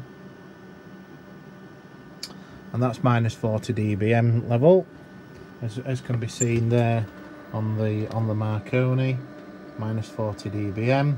And obviously I'm looking as I'm adjusting this control as I'm adjusting the fine attenuation there uh, on this control. I'm looking to see that level as well as appearing here on the spectrum analyzer. And that's really important is that. So uh, we've obviously confirmed neg 40 dBm is where we're at and then we can get down to neg 50 dBm now. And uh, not be long before we're beating the noise flying about another 50 dB. So that's obviously okay that level again. And uh, we're doing we're doing okay. And then if we carry on going down to neg 60 dBm again we've got that. You can hear that relay clicking. It's nice and smooth there's nothing wrong with that attenuator so minus 60 dBm. Again recording minus 60 and then as we're getting down here look to minus 70 dBm now. Again we were looking for the smoothness and decline in the signal without any jitter or erratic movements. And we're uh, receiving minus 70 dBm. And then we're going down to minus 80 dBm now. So that's minus 80 dBm and again we're capturing that uh, 7980 minus 79 flashing 80 dBm. And then we're getting down to minus 90 dBm. And now this is when the measurement starts to get tricky because obviously we're getting towards the noise floor. And uh, again we're still getting that minus 90 dBm there and then minus 95 dBm there look and that's before then we, we get beyond the point of measure because as I reduce the RF level now into the sub minus 100 dBm range we're not able to really resolve that signal very well until I start to increase it again. So what I'm going to do now uh, we're going to adjust the frequency of the um, radio test set now to um, 300 megahertz so we're going to go um, um, RF gen frequency 300 uh, megahertz. We've left it at minus, uh, 15 dBm there. There we are. Back to the spectrum analyzer. Uh, frequency 300 megahertz and then again back with the marker normal and then with the the marker onto there. Now you can do zero span obviously um, for more accurate measurements. So you can do span zero and then you'd now be measuring that absolute level uh, which gives you more stability. And as we can see there we're getting that uh, that level minus 15 so if I adjust it in 1 dB steps at 300 megahertz that's minus 16 17 18 19 20 21 22 23 24 5 6 and each time I'm pressing that increment key now and decrement key uh, in 1 dB steps at 300 megahertz you can see that we're getting that smooth transition of a dB steps. So that's uh, neg 56 dBm. And as you can see we're still receiving neg 56 so this is a more accurate way if you like of seeing the level and you can carry on doing that until you get right down into the noise floor. So if I just increase it again back to there that's neg neg 50 dBm neg 60 dBm there. Um, that's neg 65 uh, that's neg 70 dBm uh, neg 75 neg 80 and then obviously neg 85 dBm now coming up. And then that'll be neg 90 dBm and again the signal's there. And then neg 95 dBm and this is then where we start beyond that to get into the noise floor. So as you can see there we're in the noise floor. So technically I can measure that's neg 100 dBm here. And we're sort of still being able to resolve a signal at zero span down to neg 100 uh, whereas we couldn't really do that at uh, 100 kilohertz bandwidth. So that's the importance of using zero span um, or 10 hertz as it is in this case. But um, that gives us a level of neg 100 dBm there and obviously if I if I go further than that it starts getting in the noise floor we can see there's a measurement difference but that's neg 102 dBm neg 101 neg 100 neg 99 uh, neg 98 dBm so around about neg 100 it becomes um, illegible does the measurement so we need to check beyond that, which we're going to be doing with another instrument pretty soon. Um, so that's that's just a demonstration of that. Now, obviously, if I now change the frequency to uh, 600 megahertz, uh, RF gen frequency 600 megahertz. Again, RF gen level, we'll set it to uh, minus 15 dBm. And uh, okay, so we'll go to frequency 600 megahertz and then of course marker normal and then you can do peak find and stuff like that as well with this but I always like to uh, twiddle with things and if you wanted to you could set the span again to 100 kilohertz so again minus 15 dBs now if I go down now in uh, again that's minus 20 dBm minus 25 dBm. I'll set the increment up here to uh, 5 dB steps and not having to press the bloody thing all the time. RF gen, increment, 5 dBs. Right. So that's minus 30 dBm, minus 35, 40 dBm, 45, 50, 55, 60, 65, 70, 75, 80, 85, 90, and then obviously 95 dBm, minus 95, minus 100. So we can see the levels there. Now, if I do increment for 1 dB steps, we can see that if I, we've got that nice smooth change of a dB before we hit the noise floor then come back up again just check the relay contacts are all okay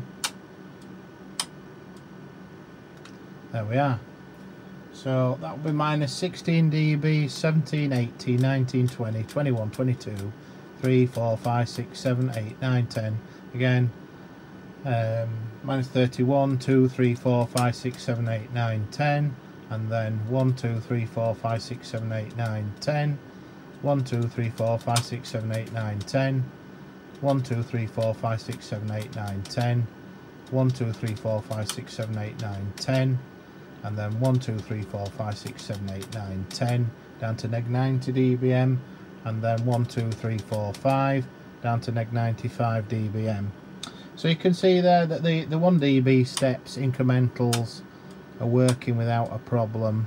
And as a, again when I adjust the RF level variable control down nice smooth action no problem there. Right we'll zoom on to 1 gigahertz now.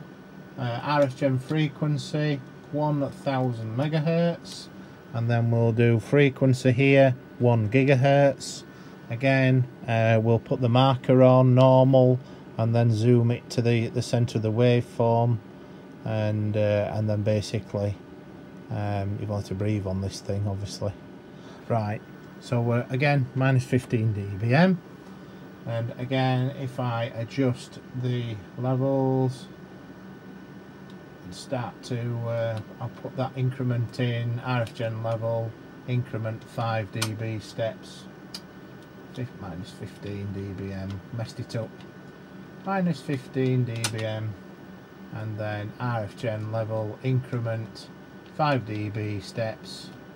And now so that's minus 20 dBm at 1 gigahertz. As you can see the level is accurate there. We've got the minus 20 there minus 25 minus 30 35 40 45 50 55 60 65 70 75 80 85 90 95 and then that's when we hit the noise floor then at neg 100 dBm. Um, so if I increase that back up and then we set the RF gen level increment now to um, 1 dB steps. And so that's uh, minus 16 17 18 19 20 and then it's like again 1 2 3 4 5 6 7 8 9 and then back to minus 30 1 2 3 4 5 6 7 8 9 10 minus 40 1 2 3 4 5 6 7 8 9 10 uh, which is minus 50 1 2 3 4 5 6 7 8 9 10 and again we're listening for the relay contacts and we're making sure that the signal is decreasing in 1 dB step increments. Uh, 1 2 3 4 5 6 7 8 9 10 is minus 70 dBs and then 1 2 3 4 5 6 7 8 9 10 minus 80 1 2 3 4 5 6 7 8 9 10 minus 90 1 2 3 4 5 6 7 8 9 10 minus 100 dBs so that's we've got that nice. And again if we just check incrementing as well as decrementing and again go down just smooth operation. And there's nothing wrong with that. No that attenuator is working absolutely wonderful. The 1 dB steps throughout its dynamic range on 10 megahertz 300 megahertz 600 megahertz and now 1 gigahertz are bang on. So there's nothing wrong with that. We've done all those tests now to neg 100 dBm but what we need to do is check beyond neg 100 dBm down to around about neg 120 neg 130 which is our limits of the signal generator to make sure that the um, the remaining pads in the RF attenuator are working below neg 100 dBm. So we're going to have a look at another instrument uh, with that. So from here now we'll move on to this other instrument that can measure beyond this instrument. And uh, then from there we'll do the audio measurements with the RF signal generators mod for AM and FM measurements and audio frequency measurements for the modulation. And uh, then we can move on to transmitter measurements. But at least that gives you a little inkling of uh, how we measure that signal. Okay for the next measurement now we're going to be using the uh, Aeroflex spectrum analyzer. And this has a unique feature on it which we're gonna we're gonna show you. So where we were before we managed to get to roughly about neg 95 dBm and then we couldn't measure it anymore on the other spectrum analyzer. However this spectrum analyzer has a trick up its sleeve which we're going to see now. Um, so we need to carry on beyond neg 95 dBm as low as the test set can generate to check the the actual usable levels.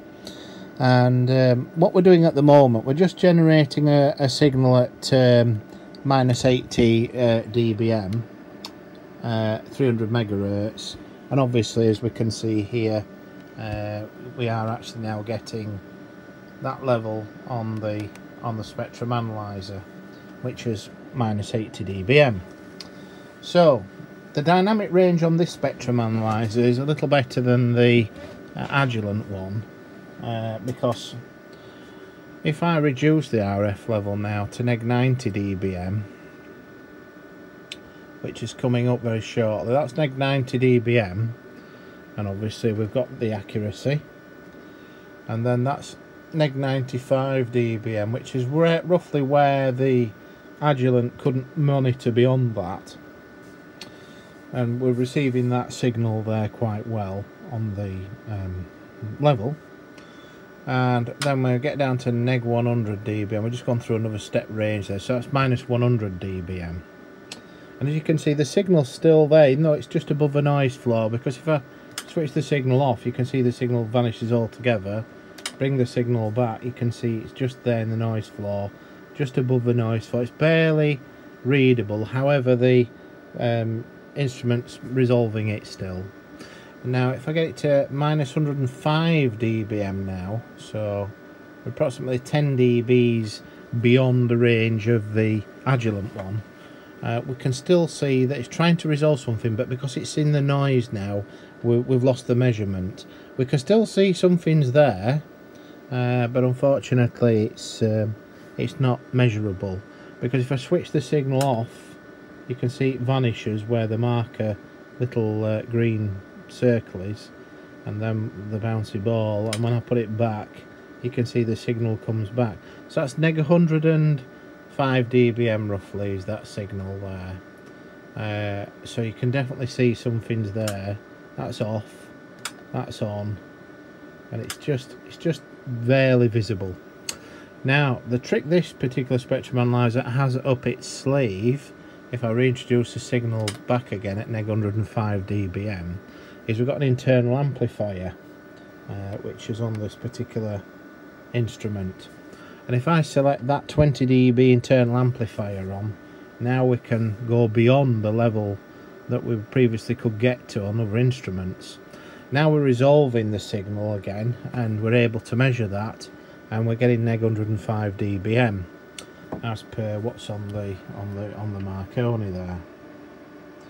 So what I'm going to do now we're going to carry on and we're going to see what we can what we can get to so if we carry on down to neg 110 now we've just gone through another switch range there a smaller switch range. So that's neg 110 dBm and again we're still getting that level accuracy there. And then we'll get right down now to neg 115 dBm and it's struggling now because it's, it's near the noise and that will be there neg 120 dBm just there. So we've sort of got to the end of the dynamic range of the instrument now. If I switch the signal off now the that the noise floor on the spectrum analyzer is now roughly about neg 130 dBm um, so obviously it's got 30 dBs more dynamic range than the Agilent uh, has. And then switch the signal back on and you can see the signals there.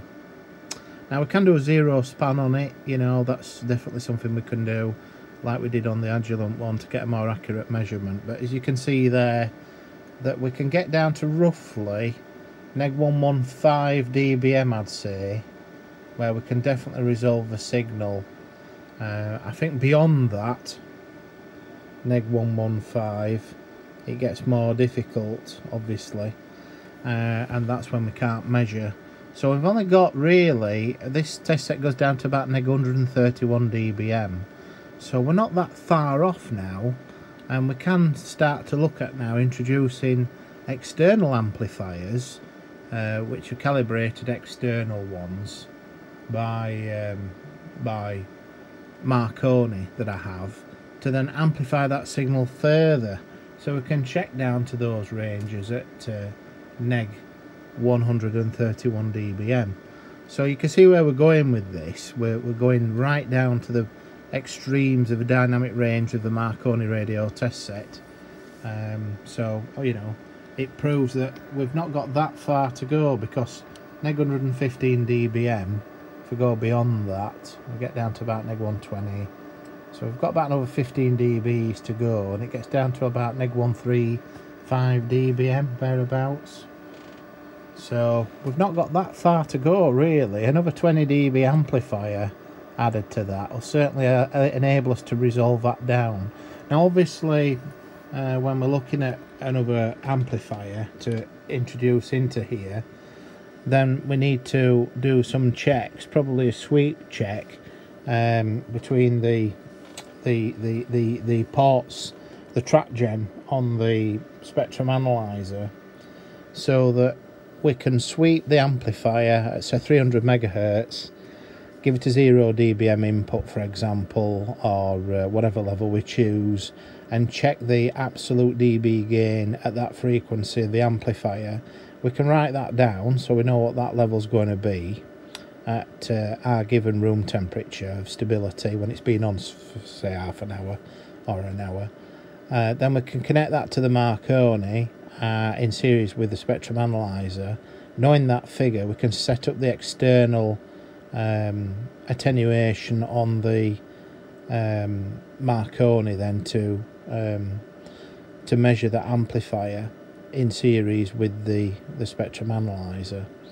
So or we can just take the measurement as is and add 20 dBs or whatever the figure the amplifier produces as gain We can also look at the noise figure of the amplifier and take that into consideration. But for the purpose of this video, we'll just keep it simple and we'll we'll just use the amplifier in series with the test set and the and the spectrum analyzer. And then we can get that, that extra 20 something dB gain um, which we can introduce to check the RF gen level down to you know neg 13 something dBm. Um, again we'll be going beyond most usable ranges of radio receivers. Even the best UHF or VHF radio receivers can tend to get down to about neg 123 neg possibly neg 125 at the very best. But beyond that um, most receivers are incapable of receiving a signal at uh, a level below that anyway. So we only need to check as far as we can into the neg 130 dBm range uh, really to get a, a, clear indication that there's nothing wrong with the instrument. Right so uh, onwards and upwards. Okay so the next very important measurement we need to do concerns the FM and AM modulation that the um, RF SIGGEN on the Marconi outputs. It needs to be accurate in level and frequency and without distortion or phase error uh, because that's highly critical measurement that we do with the Marconi when we're aligning radio receivers etc so we need to make sure the level's accurate.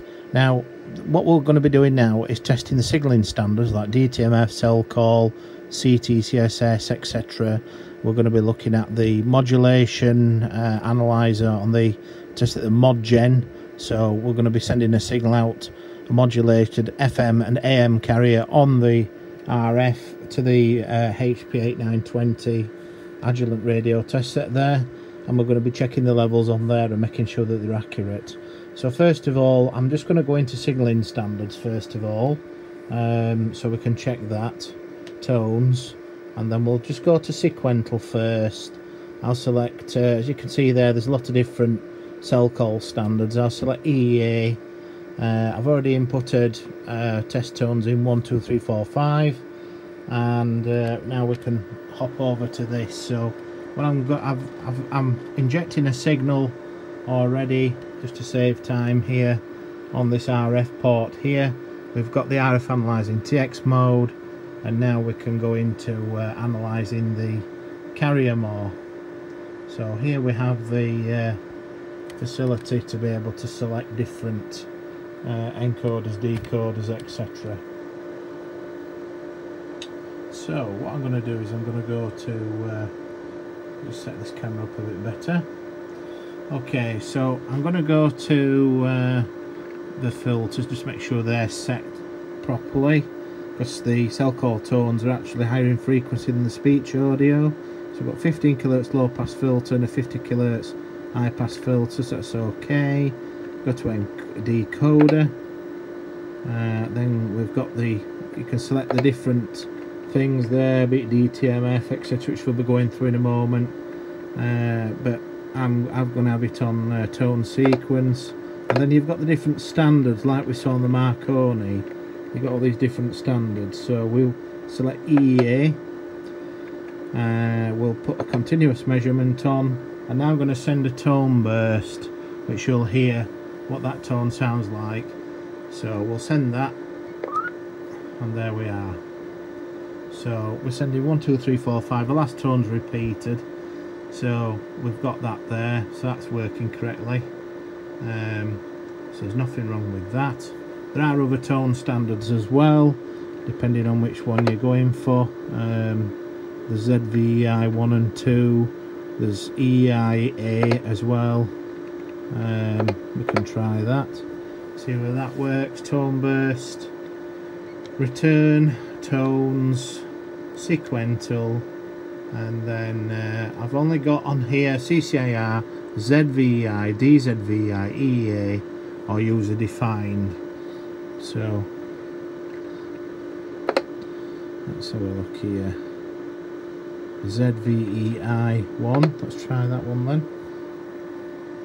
ZVEI and then tone burst. There we are. So I'm just sending one, two, three, four tone burst on uh, on that tone standard. So that's working. Okay so the next one we'll check now is DTMF uh, again uh, standard. And then select DTMF actually I've messed up there. It's that one. DTMF and we'll set that there. Right let's go to return tones. DTMF and then I'll just send a sequence out to it see if it picks this up.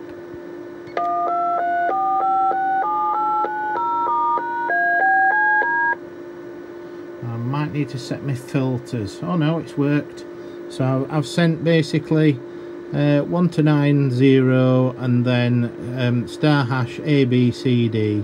So it's decoded all that correctly as it should do. So that's correct. Right I'll just return tones.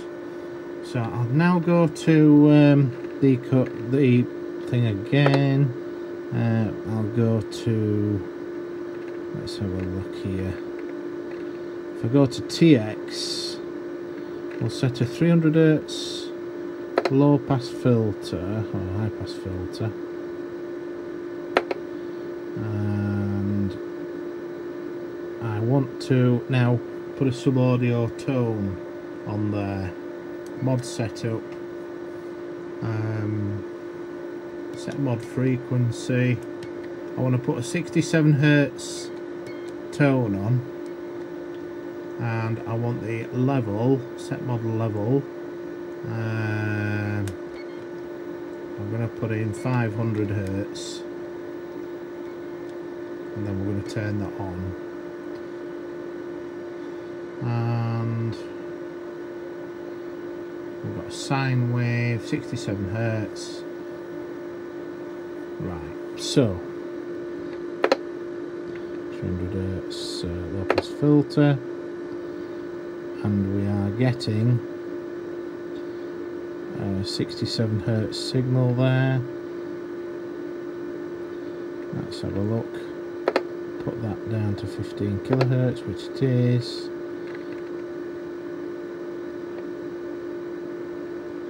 And then vertical division. Change that down to there we are. We can see the sub audio tone now in a second. So that's the sub audible tone. Now if I up that to uh, in level and then we go back to TX and then we're getting if I just change that to uh, Hertz Hertz.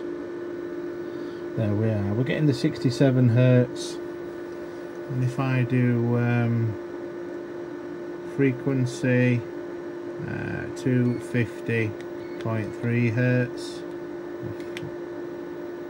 I can type it in properly. So we've got the 250.3 hertz CTCSS tone as well. And uh, so that's all there obviously if I go to the scope to the scope and then we go just get the level down a bit.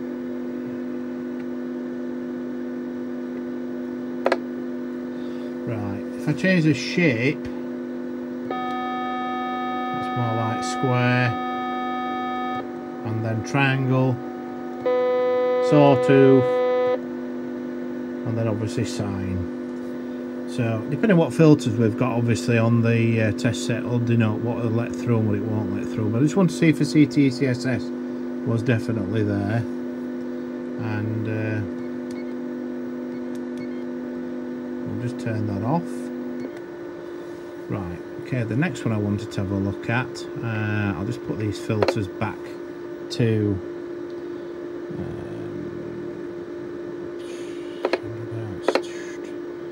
15 kilohertz low pass filter, decoder, and then I think there was I think CD DCS. I think that was it. standard. see whether we can get the DCS tone out of it. And uh, send that. Right. So I'm currently sending um, a data rate for a DCS tone of 134.4 Hertz uh, bit rate at 250 Hertz level parity normal and uh, basically I'm getting that data rate in the top there top left hand corner for that particular uh, code.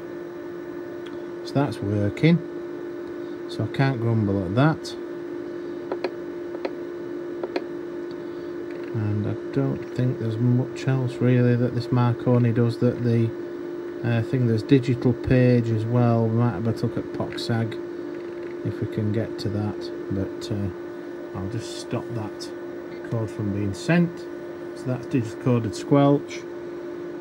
Um, if I then go to return tones POCSAG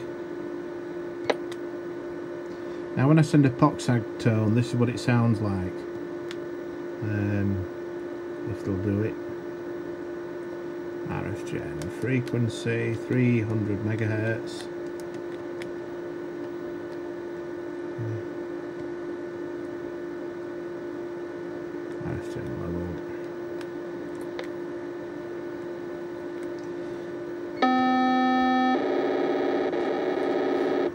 that's what the POCSAG tone sounds like. So it could be accessible under DigiPage I'm not sure. Uh, standard POCSAG and um, so I'm doing I've got a certain message I'm going to put in here. And let's just see what works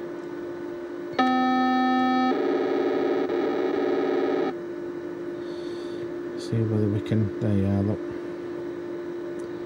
Number of pages function 11 blah blah blah. So that seems to work. We're obviously getting uh, message 1 which on what I'm sending there uh, address message. And then we'll send that as well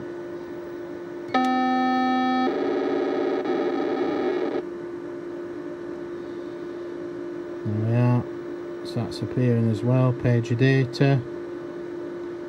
11 number of pages 1 so everything seems to be working as it should be.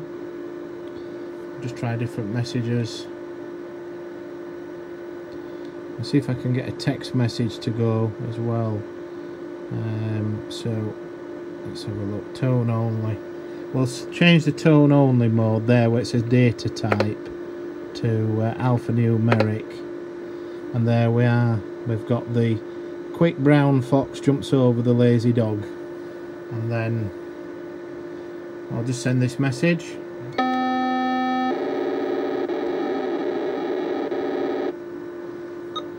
There we go. Incorrect parity received. It's probably down to the fact that it's uh, message type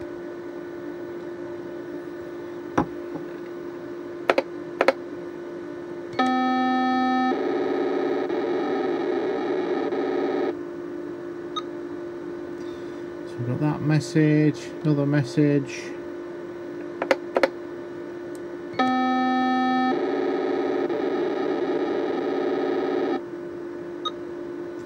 Now the parity I'm sending is do, do, do, Let's have a look here. 512 hertz bit rate. Parity invert. Um, try a different address.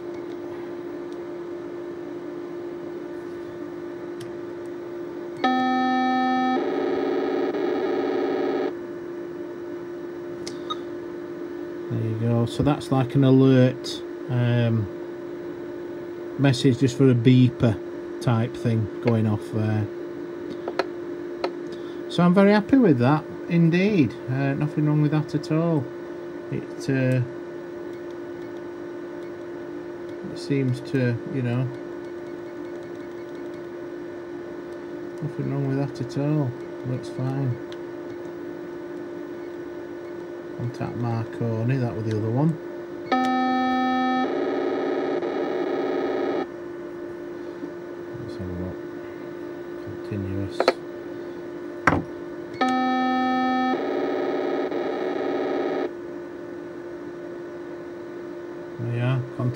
Marconi in the message.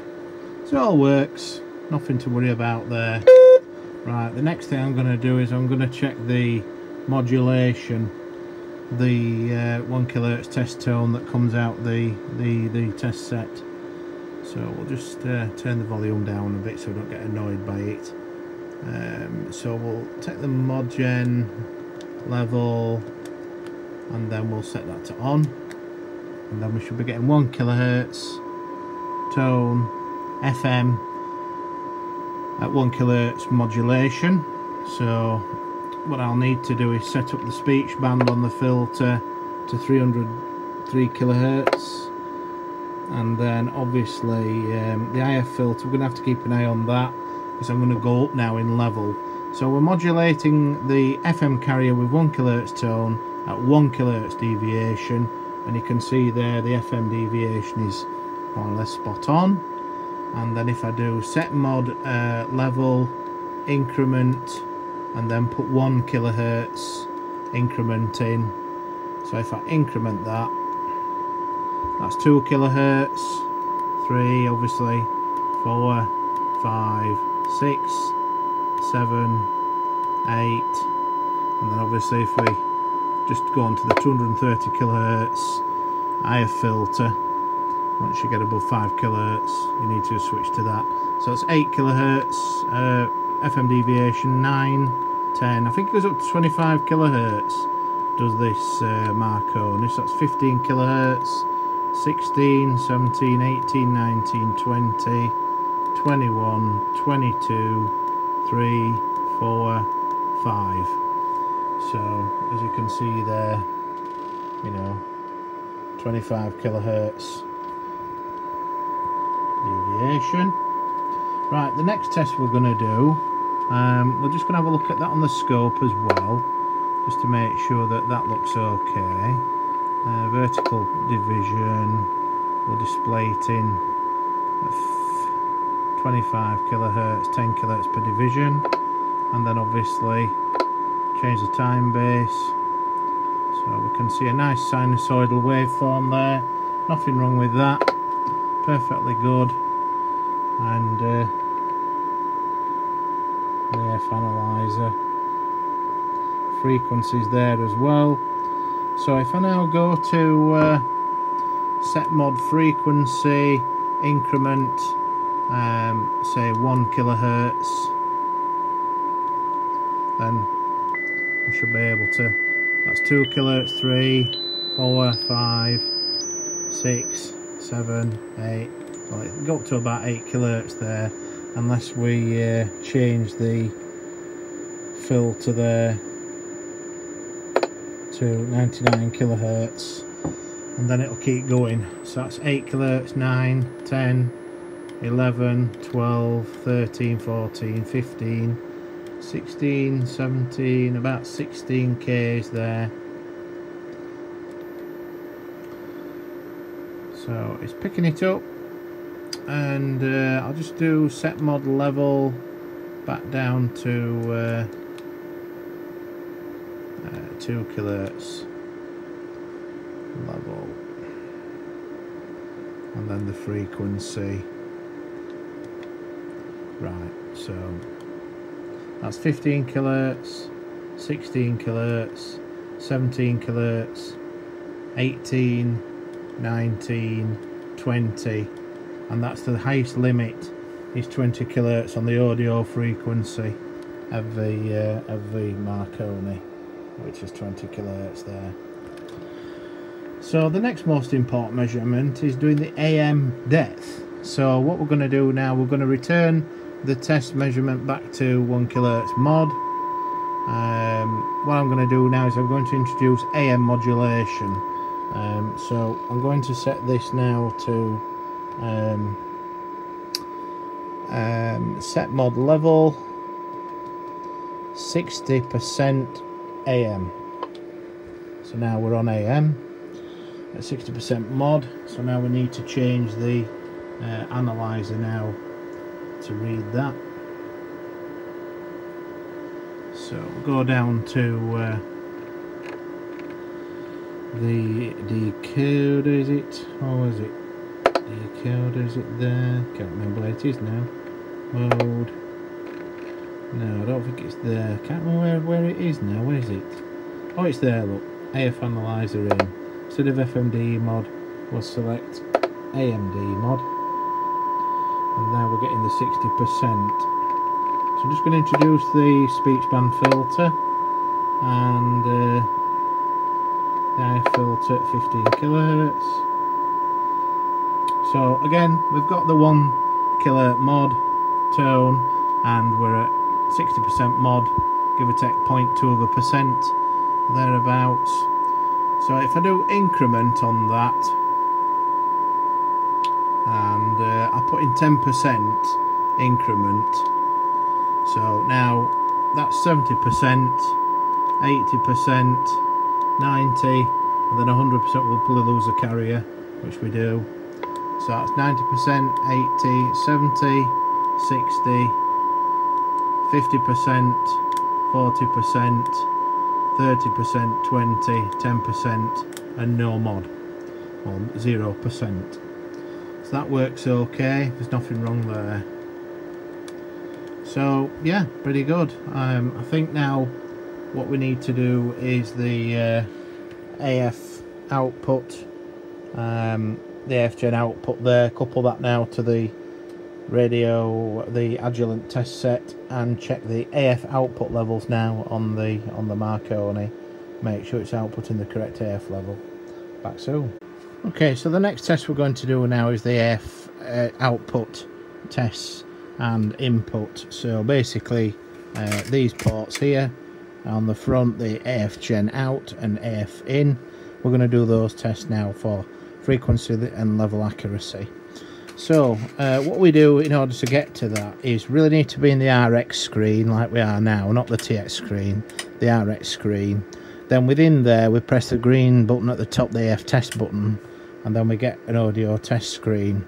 Now what there is uh, on this particular um, device is that you've got two AF gens, Gen 1 and Gen 2.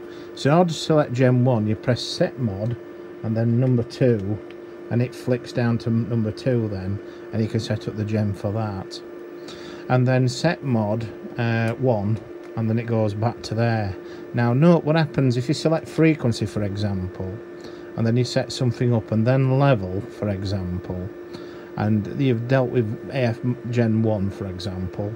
If you then want to go to AF Gen 2 this is where a lot of people make the mistake because what they do they press set mod then 2 and of course as soon as you press the numerical digit it thinks you're either changing the level or the frequency.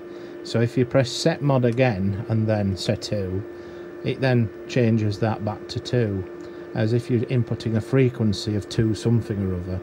And then people get think well how, how can I get to AF Gen 2 well that's quite simple. Uh, what you do if you just press the AF Gen button again this AF test button here it clears the frequency and level. So when you then go set mod again and press number 2 it flicks to number 2 likewise if I say set a frequency of 3 kilohertz and um, and if I wanted to get back to set mod gen 1 again. If I press set mod gen 1 okay mod which is this set mod and number 1 it thinks I'm inputting a frequency. And that's often a question I get asked about Marconi 2955 is how the hell do you switch between the two signal generators? So that's how you do it. You just literally um, you put in a level or whatever but just press the green button again and watch then it goes back and then if you do set mod 2 set mod 1 flicks between them so that's just a, a quick info is that one it can be a pain in the backside and you can spend many hours reading the manual before you pick that up Okay, so what we're going to do now, we're going to emulate this signal coming out the AF-Gen output port and we're going to analyse that on the Agilent test set. So what we're going to do, we're going to connect a BNC to the AF-Gen output port of the um, Marconi 2955. We set a frequency of 1 kilohertz uh, frequency and I want to set a level of 1 volt for reference. Now we're going to then connect that then to what is the AF input on the mark on the Agilent radio test set and already just preset the instrument. Okay, so I'll turn that down. So we're already receiving some form of audio signal there. So what I want to do now, I just want to see how far, how close that is. Uh, and already I can see it's nearly at one volt. It's just literally um, very, very fractionally off, not worthy of adjustment, simply because the fact that it's well within its error limits in the specification and laid down in the service manual. But what I would like to do is just verify um, that its um, its distortion is in good in good stead. But first of all, um, I want to go to AF Analyzer on here, and I want to select particular filters, which we'll look at now. Okay, so what I'd like to do is I'd like to set up um, AF filter number two and I want to put that at uh, 3 kilohertz top end filter, basically low pass filter. So anything above 3 kilohertz, any noise is filtered off. Then I want to go to where it says SINAD here and I want to select distortion. Okay. So we're reading the level correctly at 1 volt, and that's, that's off it. And then we're reading distortion at 0.1%. That tells me that the AF output amplifiers in the Marconi 2955 are working fine. Then we can go to the oscilloscope just to verify the waveform shape. And we can do that by reducing this and then obviously going then to the period. And we can see there nice sinusoidal waveform without distortion. Everything's lovely. That's how it should be. Now if we go back to where we were before and then to the AF analyzer again and then in here I just want to take that filter off because we're going to now advance in frequency. So I'm going to put the 99 kilohertz filter in I want to go to back to here again where it said SINAD and if you remember I want AF frequency. So that's now the frequency at 1 kilohertz. If we want to we can actually set up a reference level by highlighting the kilohertz field doing shift and then reference on the uh, Agilent test set which is uh, shift and then reference set and then you can put in 1 kilohertz and it'll tell you how far off you are and that's good in in a measurement because obviously you can read the frequency if you want but you can also read the errors up or lower frequency error limits and it'll display that measurement. So if you bring in something in like with a potentiometer then obviously you can adjust it better. It'll tell you how far you are away from where you need to be. But for this test there's no need to do that because we're not doing any measurements. So what I'm going to do now is I'm going to set the uh, increment now on the Marconi um, so we're now going to go to frequency. I want to set up an increment of 100 hertz in frequency. And then we're going to go back to the Agilent and we're just going to turn the volume up now so we can hear it. Okay. And obviously I'm going to up that now in 100 hertz steps. So 1.1 kilohertz to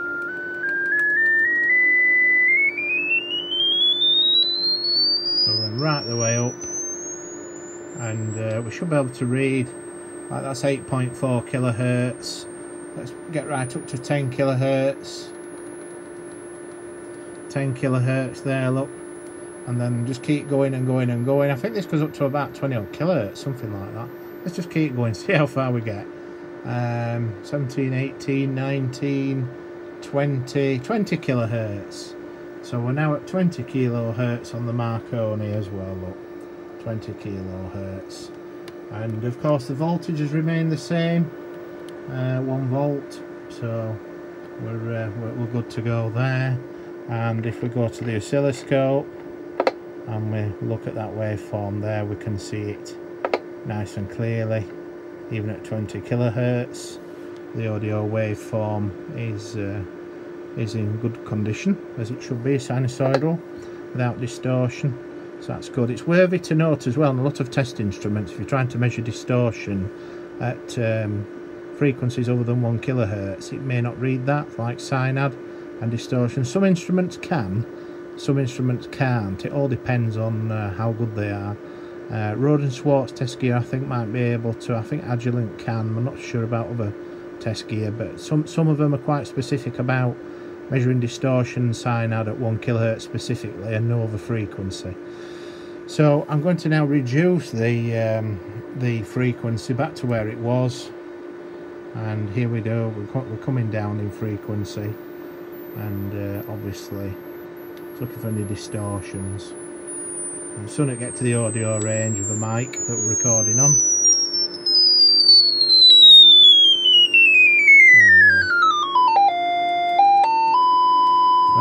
back to one kilohertz.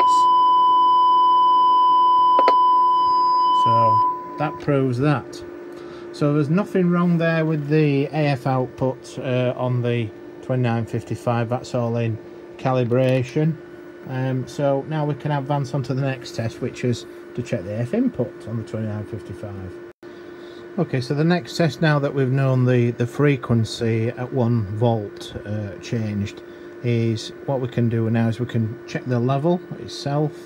Um, so if I go onto uh, FJ, set mod gen level and then we put that back on again sorry and then I've set up an increment um, set mod level increment and then I set it to 100 millivolts and uh, once we've done that then I can obviously increase or decrease the voltage appropriately that's coming out.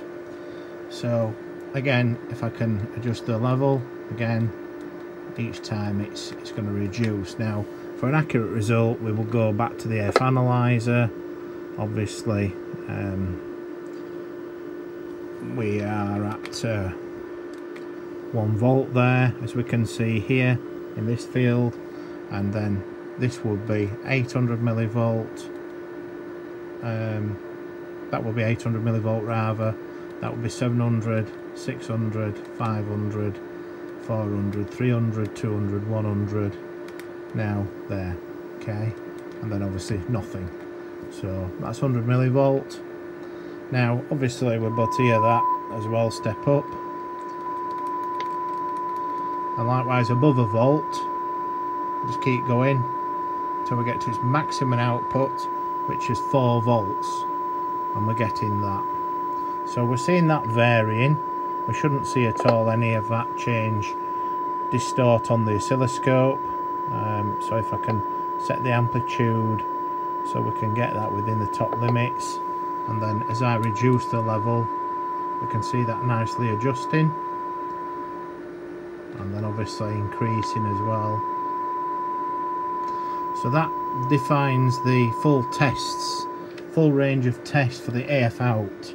Uh, is we've looked at frequency, accuracy, level accuracy, distortion accuracy. Right, the next test then obviously is to check the AF input now a Marconi. So we move the port over to this uh, audio output jack, uh, which is obviously connected then to the uh, AF input jack on the Marconi what we need to do now we just need to set this uh, this test up under TX test and then we go straight into the what is the AF analyzer. Um, so if we just bring that over you can see the screen a bit better.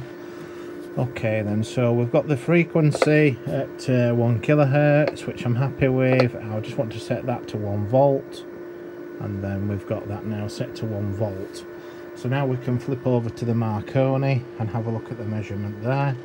And so naturally, um, as we can see there, we've got uh, a reading, a frequency already of 999.9 hertz frequency.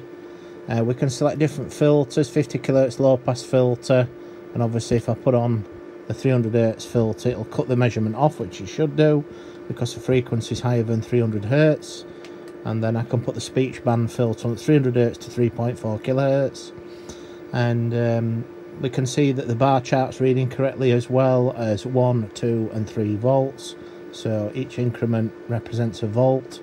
Uh, if we go to the oscilloscope 10 volts per division let's just adjust this. Gives a good opportunity as well to switch and and check the oscilloscope buttons are working.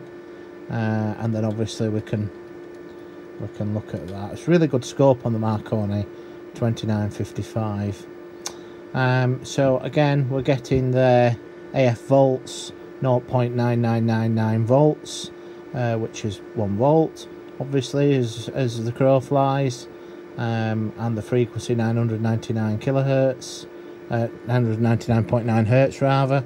So obviously uh, I can alter the frequency as well on the we can hear the volume.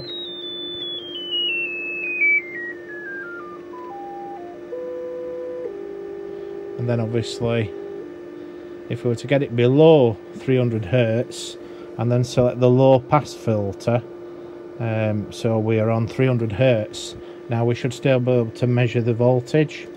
So we're at, currently at 100 hertz in frequency and we're still getting 1 volt AF so that's what we're looking for to test the low pass and the high pass filters which are just here these. So obviously if we select then the um, 50 kilohertz low pass filter it means once we get above 3.4 kilohertz in frequency we should also be able to see that measurement as well so remain at 1 volt. So there we're at 5 kilohertz and we're still receiving 1 volt. And obviously I can uh, see that waveform still nice and sinusoidally clean and then obviously as part of that I'm sorry if it sounds quite high pitched is I can check the 50 kilohertz low pass filter obviously works but then I can also equally check the speech band filter works where we can still see the waveform but we're not measuring anything uh, at that frequency. And obviously the higher we go you know going right up now to sort of um, 16 17 kilohertz. We can't hear it obviously. It's above the frequency range of human hearing. And uh, of course we can still see the oscilloscope measure that but the actual AF volts uh, will not be measuring until we select obviously the 50 kilohertz low pass filter and therefore we can uh, we can see that. Uh, likewise the AF gen level I can decrease that in line with the uh, measurement and then increase it proportionally as well to the maximum of the HP Agilent test set uh, which I'm not sure if he the Agilent can go a bit further than the Marconi in voltage. Uh, it's getting right up, look, to sort of about maybe maybe it goes up to 4 volts just like the Marconi did. So, oh no, it's going beyond that. It's going even higher. So I can certainly see a good 5, 6 volts there of uh, Petri tout at 6 at that frequency so that's good. At um, 16 kilohertz. So we've checked the AF input um, obviously on the Marconi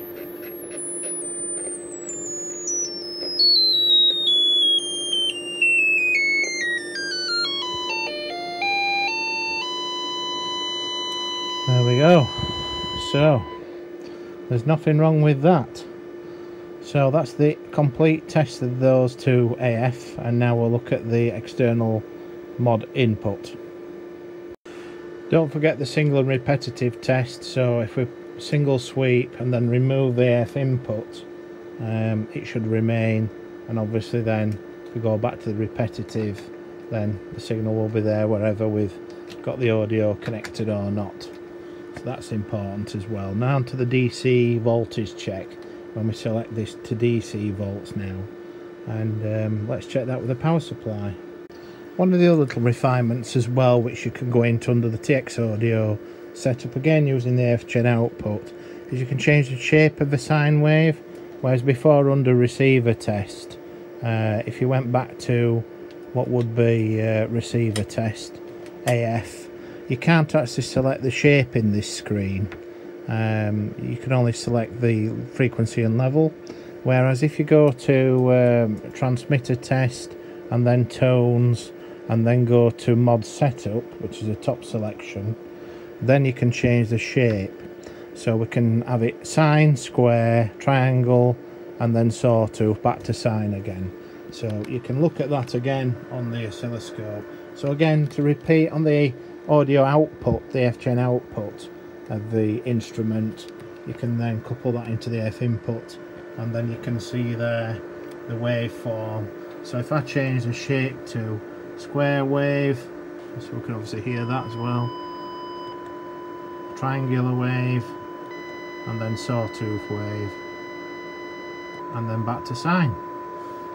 Important to check that right so the next measurement now is to check the external mod input. So the idea here is we inject an AF signal in there at particular frequency say 1 kilohertz and that in turn has a direct effect then on the receiver signal generator's modulation.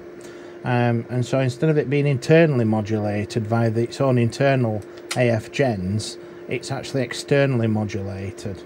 So what we're going to do first of all we're just going to set up the uh, Agilent test set so that it has the uh, necessary AF output. So we're going to go to a TX test on the on there and then we've got one kilohertz tone which I'm happy with. I'm going to set that to 100 millivolts which we're done.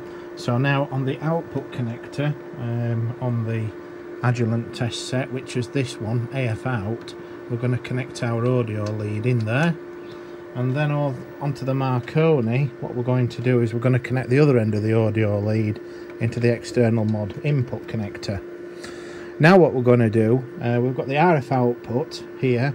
Uh, we now need to set that instrument, the Marco, the Agilent test set, so that it picks that up.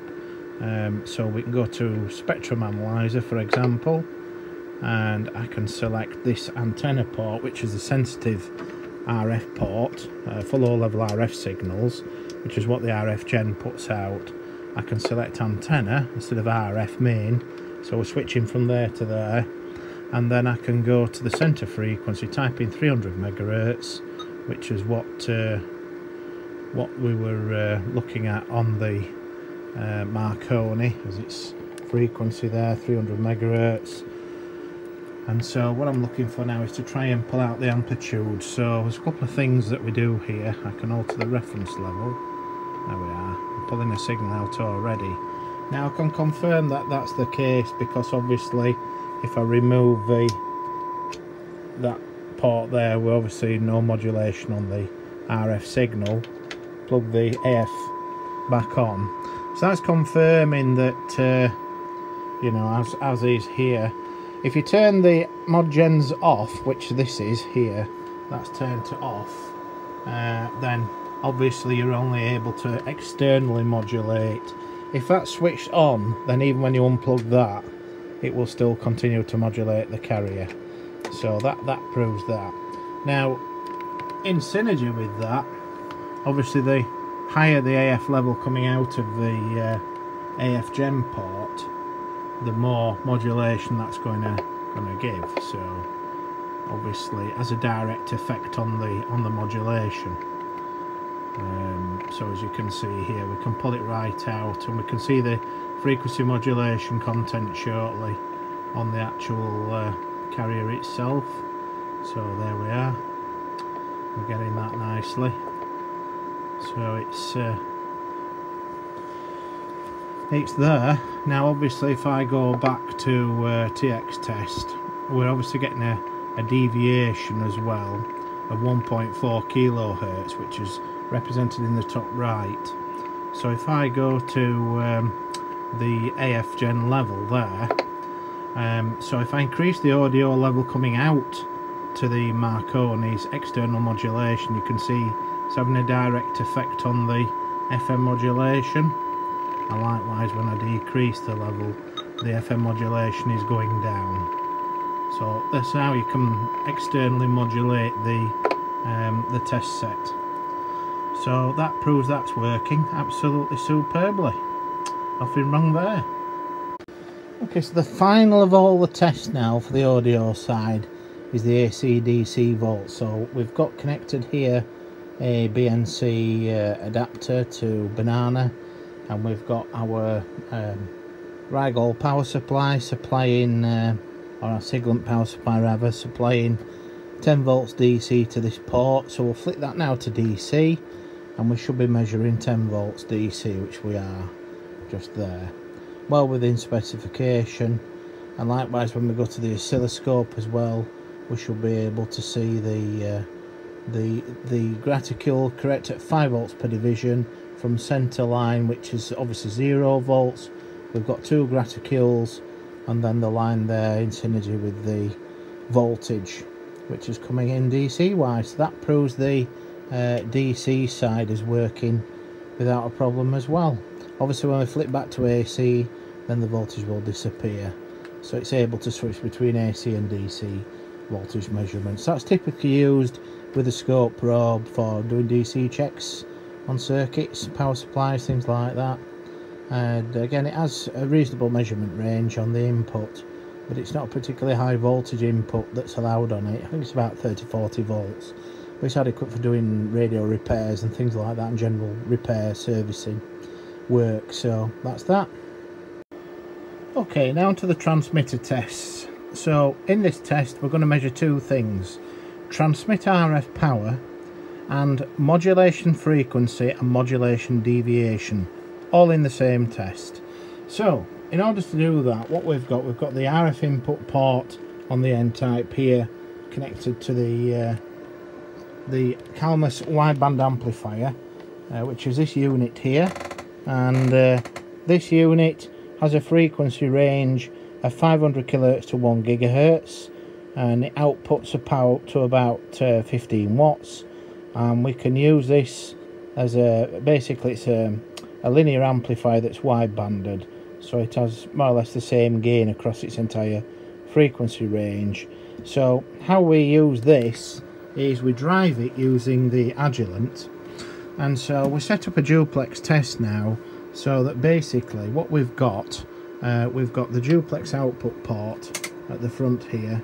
Uh, the duplex output port drives the Kalmus amplifier then the output of the Kalmus amplifier then connects to the Marconi so as a reference, what we're going to do is we've set up already um, just the finer detail, which I can show you here. And uh, we can go right in and, and adjust that. So what we've got, uh, we've set up the um, this that you've got, if you like, both halves of the screen are broken into two halves. So we've got um, the we're going to have a manual or uh, tune there. Frequency 300 megahertz I've decided to use. The input port is going to be on the N-type which is the RF in. Uh, the 15 kilo IF filters there. The RF gen frequency coming out of the Agilent is again 300 megahertz. In order to drive the amplifier so it gives 10 watts output. Approximately we need 8 dBm plus 8 dBm drive.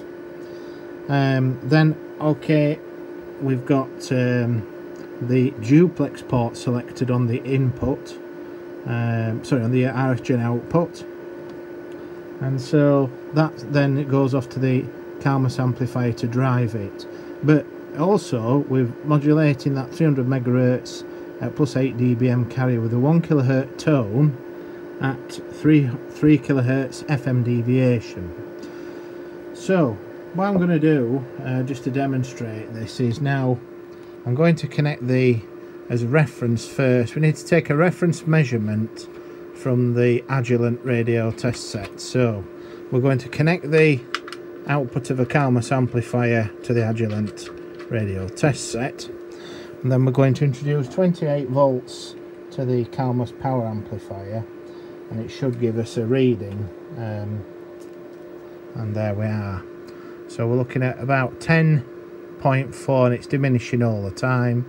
Um, about 10 watts roughly there and that's what we're looking looking to achieve. So we're just waiting for that to start to settle. About 10 watts okay? Right so what we need to do now is obviously change the RF output over to the Marconi and make a, then a comparison measurement against the Agilent test set. So we've connected that up and now we're ready to do that now. So connect that there and then connect the 28 volts to the power amplifier. And there we are. We're getting the power that we should be. So I'll just zoom in on that so that's spot on. There's nothing wrong with that at all. Can't complain. So there's plenty of power there on that. So there's nothing wrong with the power measurement. Now what I'm going to do I'm going to reintroduce it again and this time we're going to check for modulation. So just introduce it again. And we've obviously got 3 kilohertz mod as well. Turn on the scope. Now this time on the scope we're, we're, we're looking at modulation content. And we can hear the modulation as well. And I'm going to start to vary the RF power now uh, down. And as we can see the RF power need to just test as we go through all the different ranges in the um, attenuator as it you'll hear a little click as it switches in a different attenuator pad so that's one there. Just go up and down hear it. So I'm just testing that. And then we're going to get right down into the noise into the milliwatt ranges. And uh, we're down to 20 odd milliwatts now on the n-type port. And then we're getting really low now. And that's when it it shuts off. So starts to come in at round about 1 milliwatt or 0 dBm. And then we'll just adjust back up. As you can hear those clicks of the RF attenuator auto adjusting on the on the TX board. So that's good. Right. Um, so that proves the modulation's working um, that the TX frequency, the mod frequency is 1 kilohertz, the level 3 kilohertz. If I adjust the mod level now down to 1 kilohertz, obviously, that's 1 kilohertz modulation and it's following suit. And again, we can increase that and see that nicely on the thing. And likewise, if I put in 10 kilohertz modulation, again getting sort of 9.979899-ish and if I introduce the 300 to 3.4 kilohertz filter. So that's all there as well. So that's fine absolutely fine. Nothing wrong with that at all. Okay on to the next measurement. Okay, next test down the low power port for the Marconi. We're getting 300 milliwatts, just uh, roughly a bit above it. Uh, we'll take this now and switch this over to the uh, low power BNC port here, uh, which is on the on the front there. So we've switched between the ports, and then obviously we're getting, you know, 350 milliwatts roughly there on that particular measurement so that is well within specification now in line with the service manual uh, what we do now is we check the alarm trigger on the uh, on the AF on the RF input. So we adjust it to just over 1 watt for the remove RF trigger warning to appear. Um, and we're okay up to about two two and a half watts on this port before any continuous level of, of damage would occur.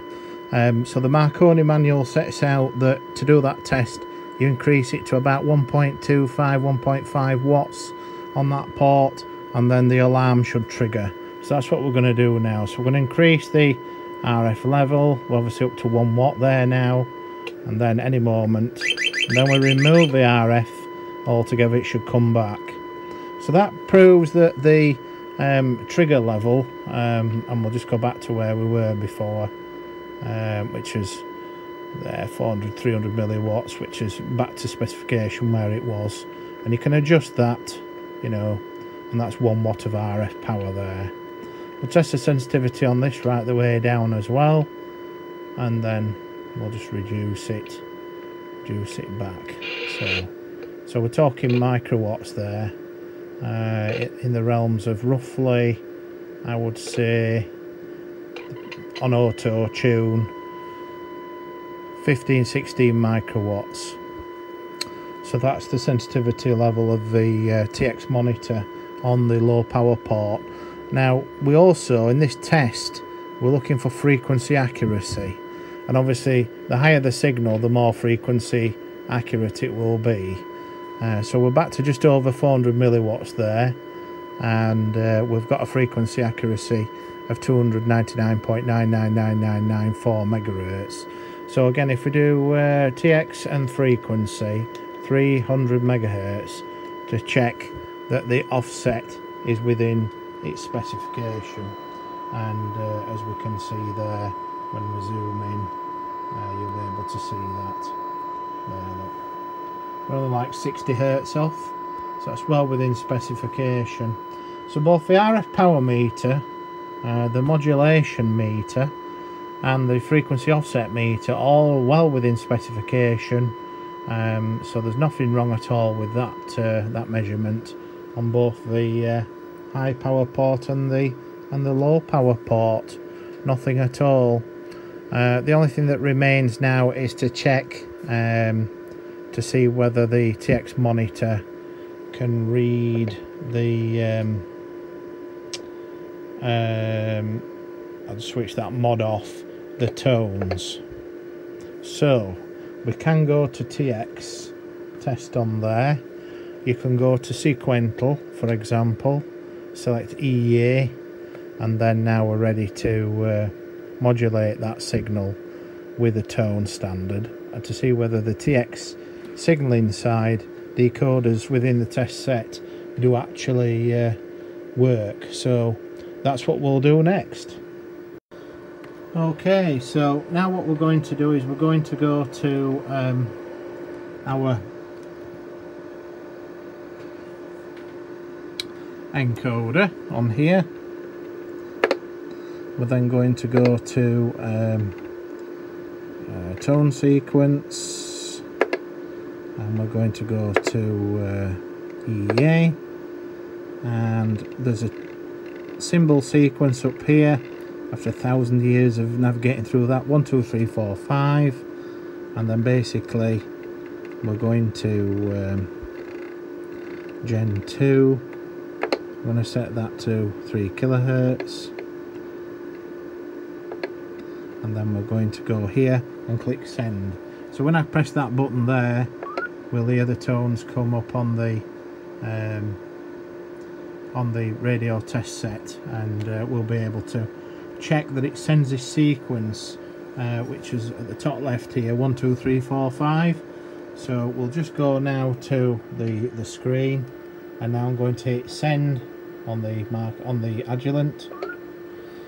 And then obviously it's decoding that one two three four five. Okay.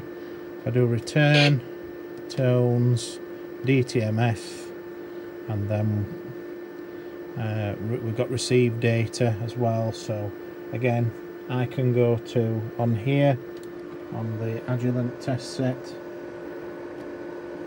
I can go then to standard um, tone sequence DTMF and then obviously we can send that sequence there up in the top left.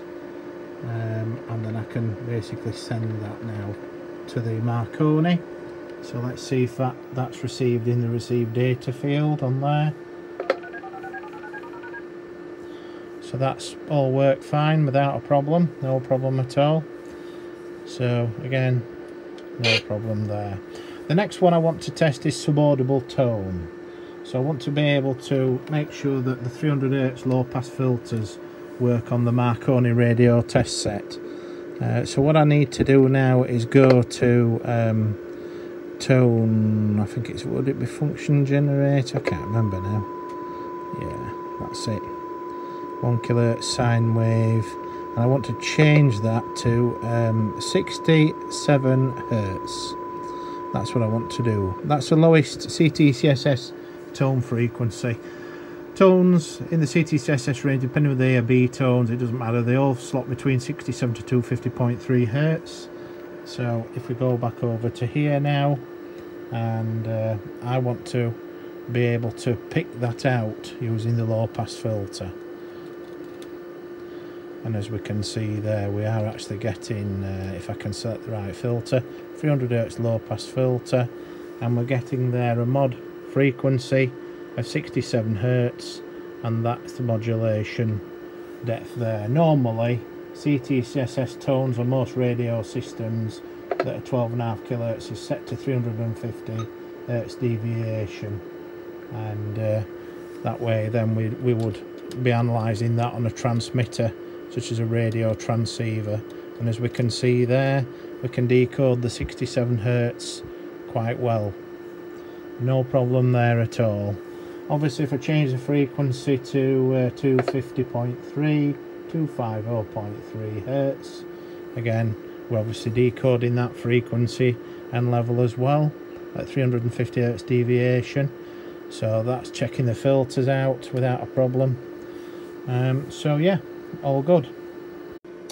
Okay so to recap what we've just gone through then those last two steps what we've done essentially is we've created a reference power level of 10 watts on an RF power amplifier which is a, a, a calibrated linear amplifier that I have here. Um, we've made a measurement on the Agilent test set to confirm that power. We've then gone over and connected it to the Marconi on the high powered N-type port. Okay, um, we've introduced 3 kHz deviation at 1 kHz tone modulation in FM. Uh, we've established that we're getting TX power reading correctly. We've got the modulation reading 3 kHz deviation at 1 kHz tone. And then what we've done then, we've reduced the RF level right down on the port to check the switchable attenuator ranges which are on the frequency counter board and also the TX modulation on the RF power meter board. And so what that's checking for is any holes in the attenuation or uh, dirty contacts on the relays, things like that, inoperative relays. And then what's happened is we've had it in auto tune mode so that the frequency counter of the test set is then essentially searching for the frequency that it's picking up on the port. So that shows that the frequency counter is working, the TX power meter is working, and also the modulation meter is working as well. Then we introduced the same level again, uh, but at a reduced power at 1 watt um, on this port, and we took it down to about, was it 400 milliwatts thereabouts on the 1 watt port. We then confirmed the alarm threshold on the 1 watt port by increasing the RF level above 1.25 watts, which triggered the alarm. We then decreased it back to where it was before, and then we carried on further down much lower RF ranges to prove a sensitivity at the 1 watt port, which turned out to be about a, mi- a few microwatts. Whereas on the N type port, if you remember rightly, it was uh, about 0 dBm, 1 milliwatt was the sensitivity on that port, and that was about 5 or 6 microwatts thereabouts. So that proves the sensitivity of the ports, it proves the switchable attenuator ranges, and it also proved a frequency counter on both ports was working operably at the right levels and sensitivities. So then we progressed on to doing the tone modulation tests, where in the TX test we're checking that the sequential tones decoder, DTMF decoder, and then CTCSS decoder, if you like, was all functioning properly by injecting those tones and checking their errors, making sure that the test set reads them as it should do. So that concludes all tests with the TX side because we've measured all the parameters there that the test set does. The only one left is AM modulation, um, and so well, let's have a look at that next. Okay, so the amplitude modulation measurement now is set up uh, 60% mod at 300 megahertz at 1 kilohertz tone AM. We're now going to check the AM demodulator on the Marconi. So we're going to select the AM there. And then what we're looking for is 60% modulation uh, on the screen there. And we are, we're getting that. We're getting that level of 60% uh, modulation, which is spot on. And um, so there's nothing wrong with that. So that we go.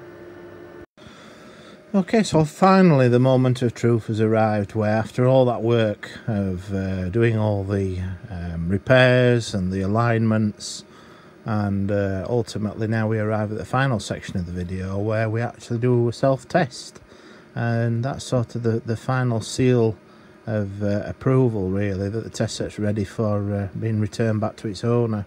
So we'll press the help key, hit the self-test button and we'll click all tests and just let it run through its entire process and while it's doing that uh, we're looking obviously for a pass result coming up on the screen as we uh, we go down the instruments uh, test routine and hopefully fingers crossed uh, you know we'll uh, get the past result all the way to the bottom because that's always a good sign yeah, certainly been a, uh, an interesting repair. Not not too involved, to be quite honest. I mean, a lot of these Marconis that I get have got some real complex problems on them. Very, very severe faults and multiple faults and component failures and serious issues of some sort. But this particular test set uh, really um, only had minor issues.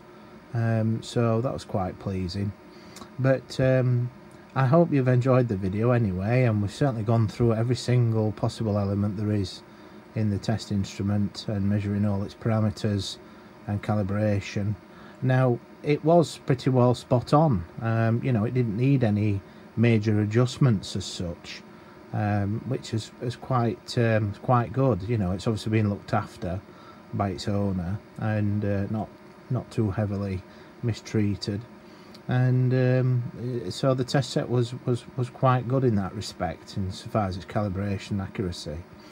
Um, so anyway, um, I think we'll end the video here. We've got obviously all past results on the screen, which is always pleasing to see after such work. And uh, thank you very much for joining me today. And uh, if you like the video, please consider subscribing, helps the channel.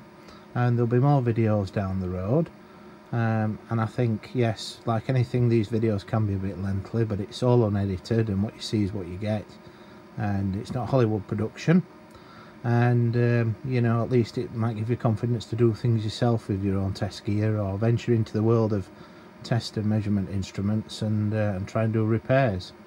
So with that bid you goodbye and see you in the next video. Bye for now